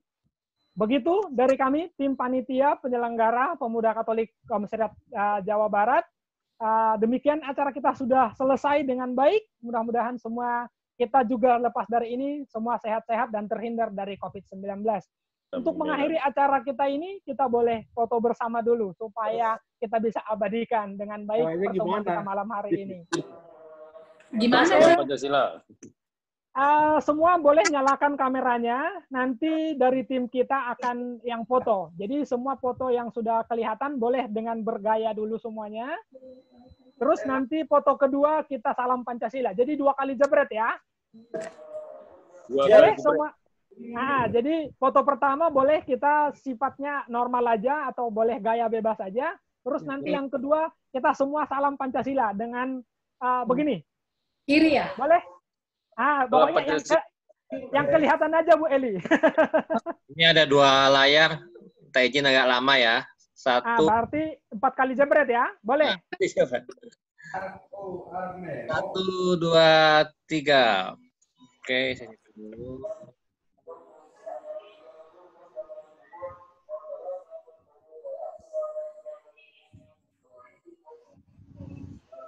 Oke. Set, taruh. Satu. Satu, dua, tiga. Nah,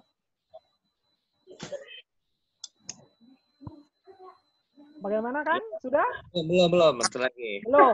Boleh lagi. Salam Pancasila. Salam Pancasila. Salam Pancasila. Nah, ada.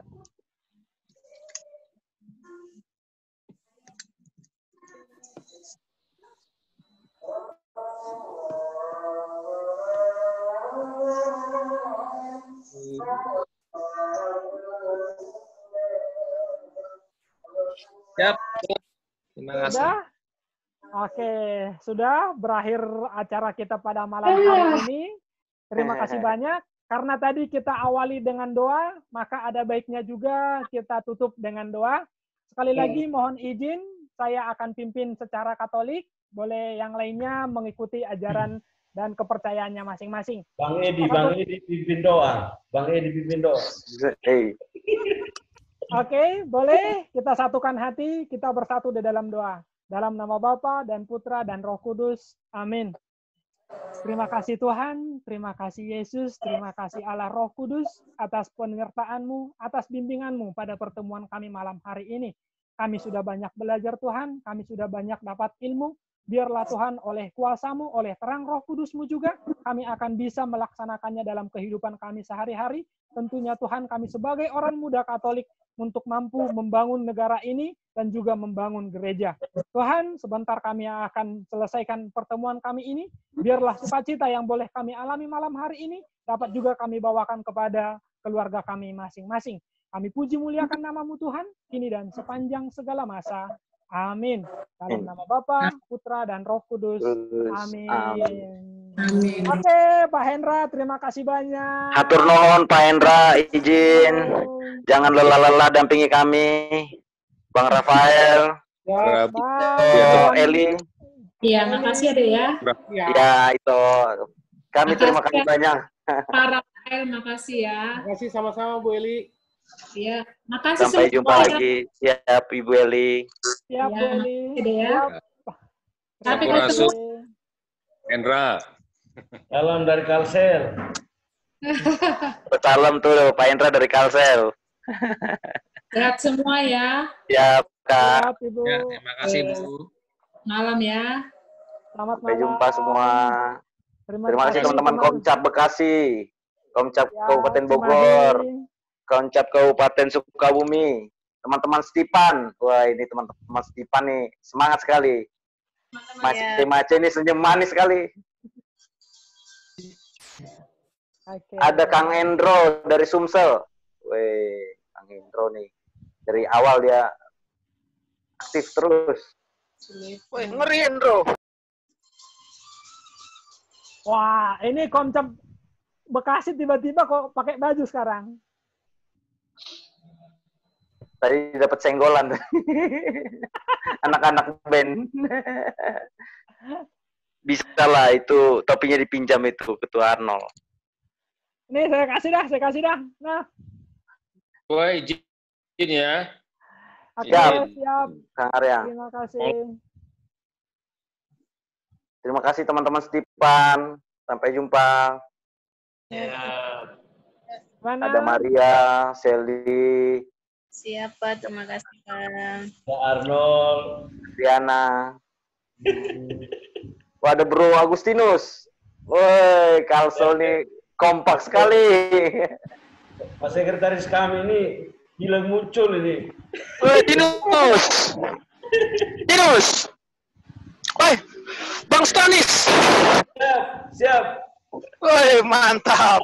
Angkatan-angkatan Tawang Mangu nih kayaknya. Ya, ini reuni. Angkatan, angkatan mabok nih. Eh, Bang Arnold, Bang Ferdinand. Tolong dulu mabuknya itu jangan dibawa-bawa di sini.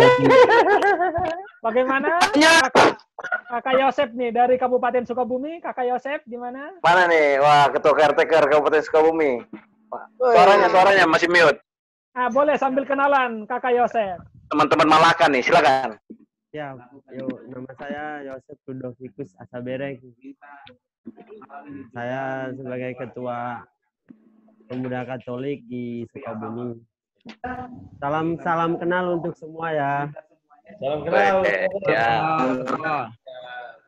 Beliau ini apa malu-malu beliau, tapi pergerakannya gesit sekali kalau di paroki. Suster-suster semua diantar. Suster jadi mamanya itu semua. Oke, semua pamit ya. Siap. Oke, siap. Siap, siap. siap. Terima Siap. kasih banyak. Terima kasih banyak. Stanis, Terima kasih. Bang Stanis, terima kasih Bang Stanis.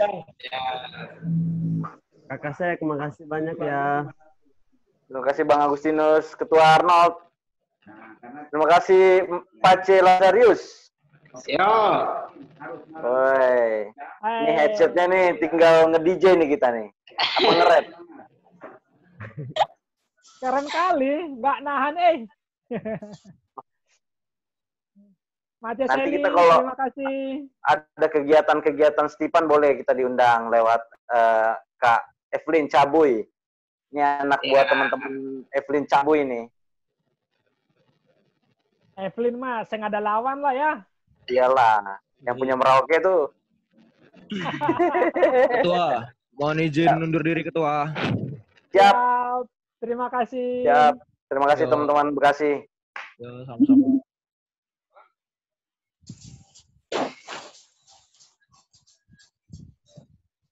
Oke, keluar. Oke, permisi. Siap. Terima kasih. Pace Lazarius. Siap. Kak Seli ini asli dari mana Kak Seli?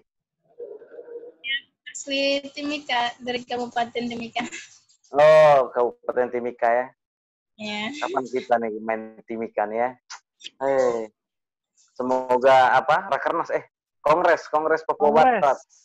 Siap, siap. Rencananya Kongres Pemuda Katolik di Papua Barat. Semoga lancar lah. Begitu teman-teman kita undur diri semua. Sampai di sini. Terima kasih banyak Pamit. semuanya. Saya izin buat close. Ya, Pak Media Center, Kang Oki, terima kasih. Kang Ray, Siap. atur nuhun. Ya. Sami-sami, Kak. Vivi, senyumnya ini loh. Ya. Makasih ya Vivi. Ya. Satu. Garda perempuan dari Kabupaten Bogor nih. Tapi kayaknya dari Kabupaten Bogor cuma sendiri ya? Dua, dua. Tadi ada, eh, tiga. Natalia, terus satu lagi? Iya kan cuma Natalia kan? Dua doang. Padro, Padro, ada Padro. Oh iya, ada Padro, benar. Benar, tiga. Oh, Iya, iya, Padro. Oke, Sip. sip, sip, sip. Oke, atur nuhun semua. Siap, selamat malam. God Malam. bless you all.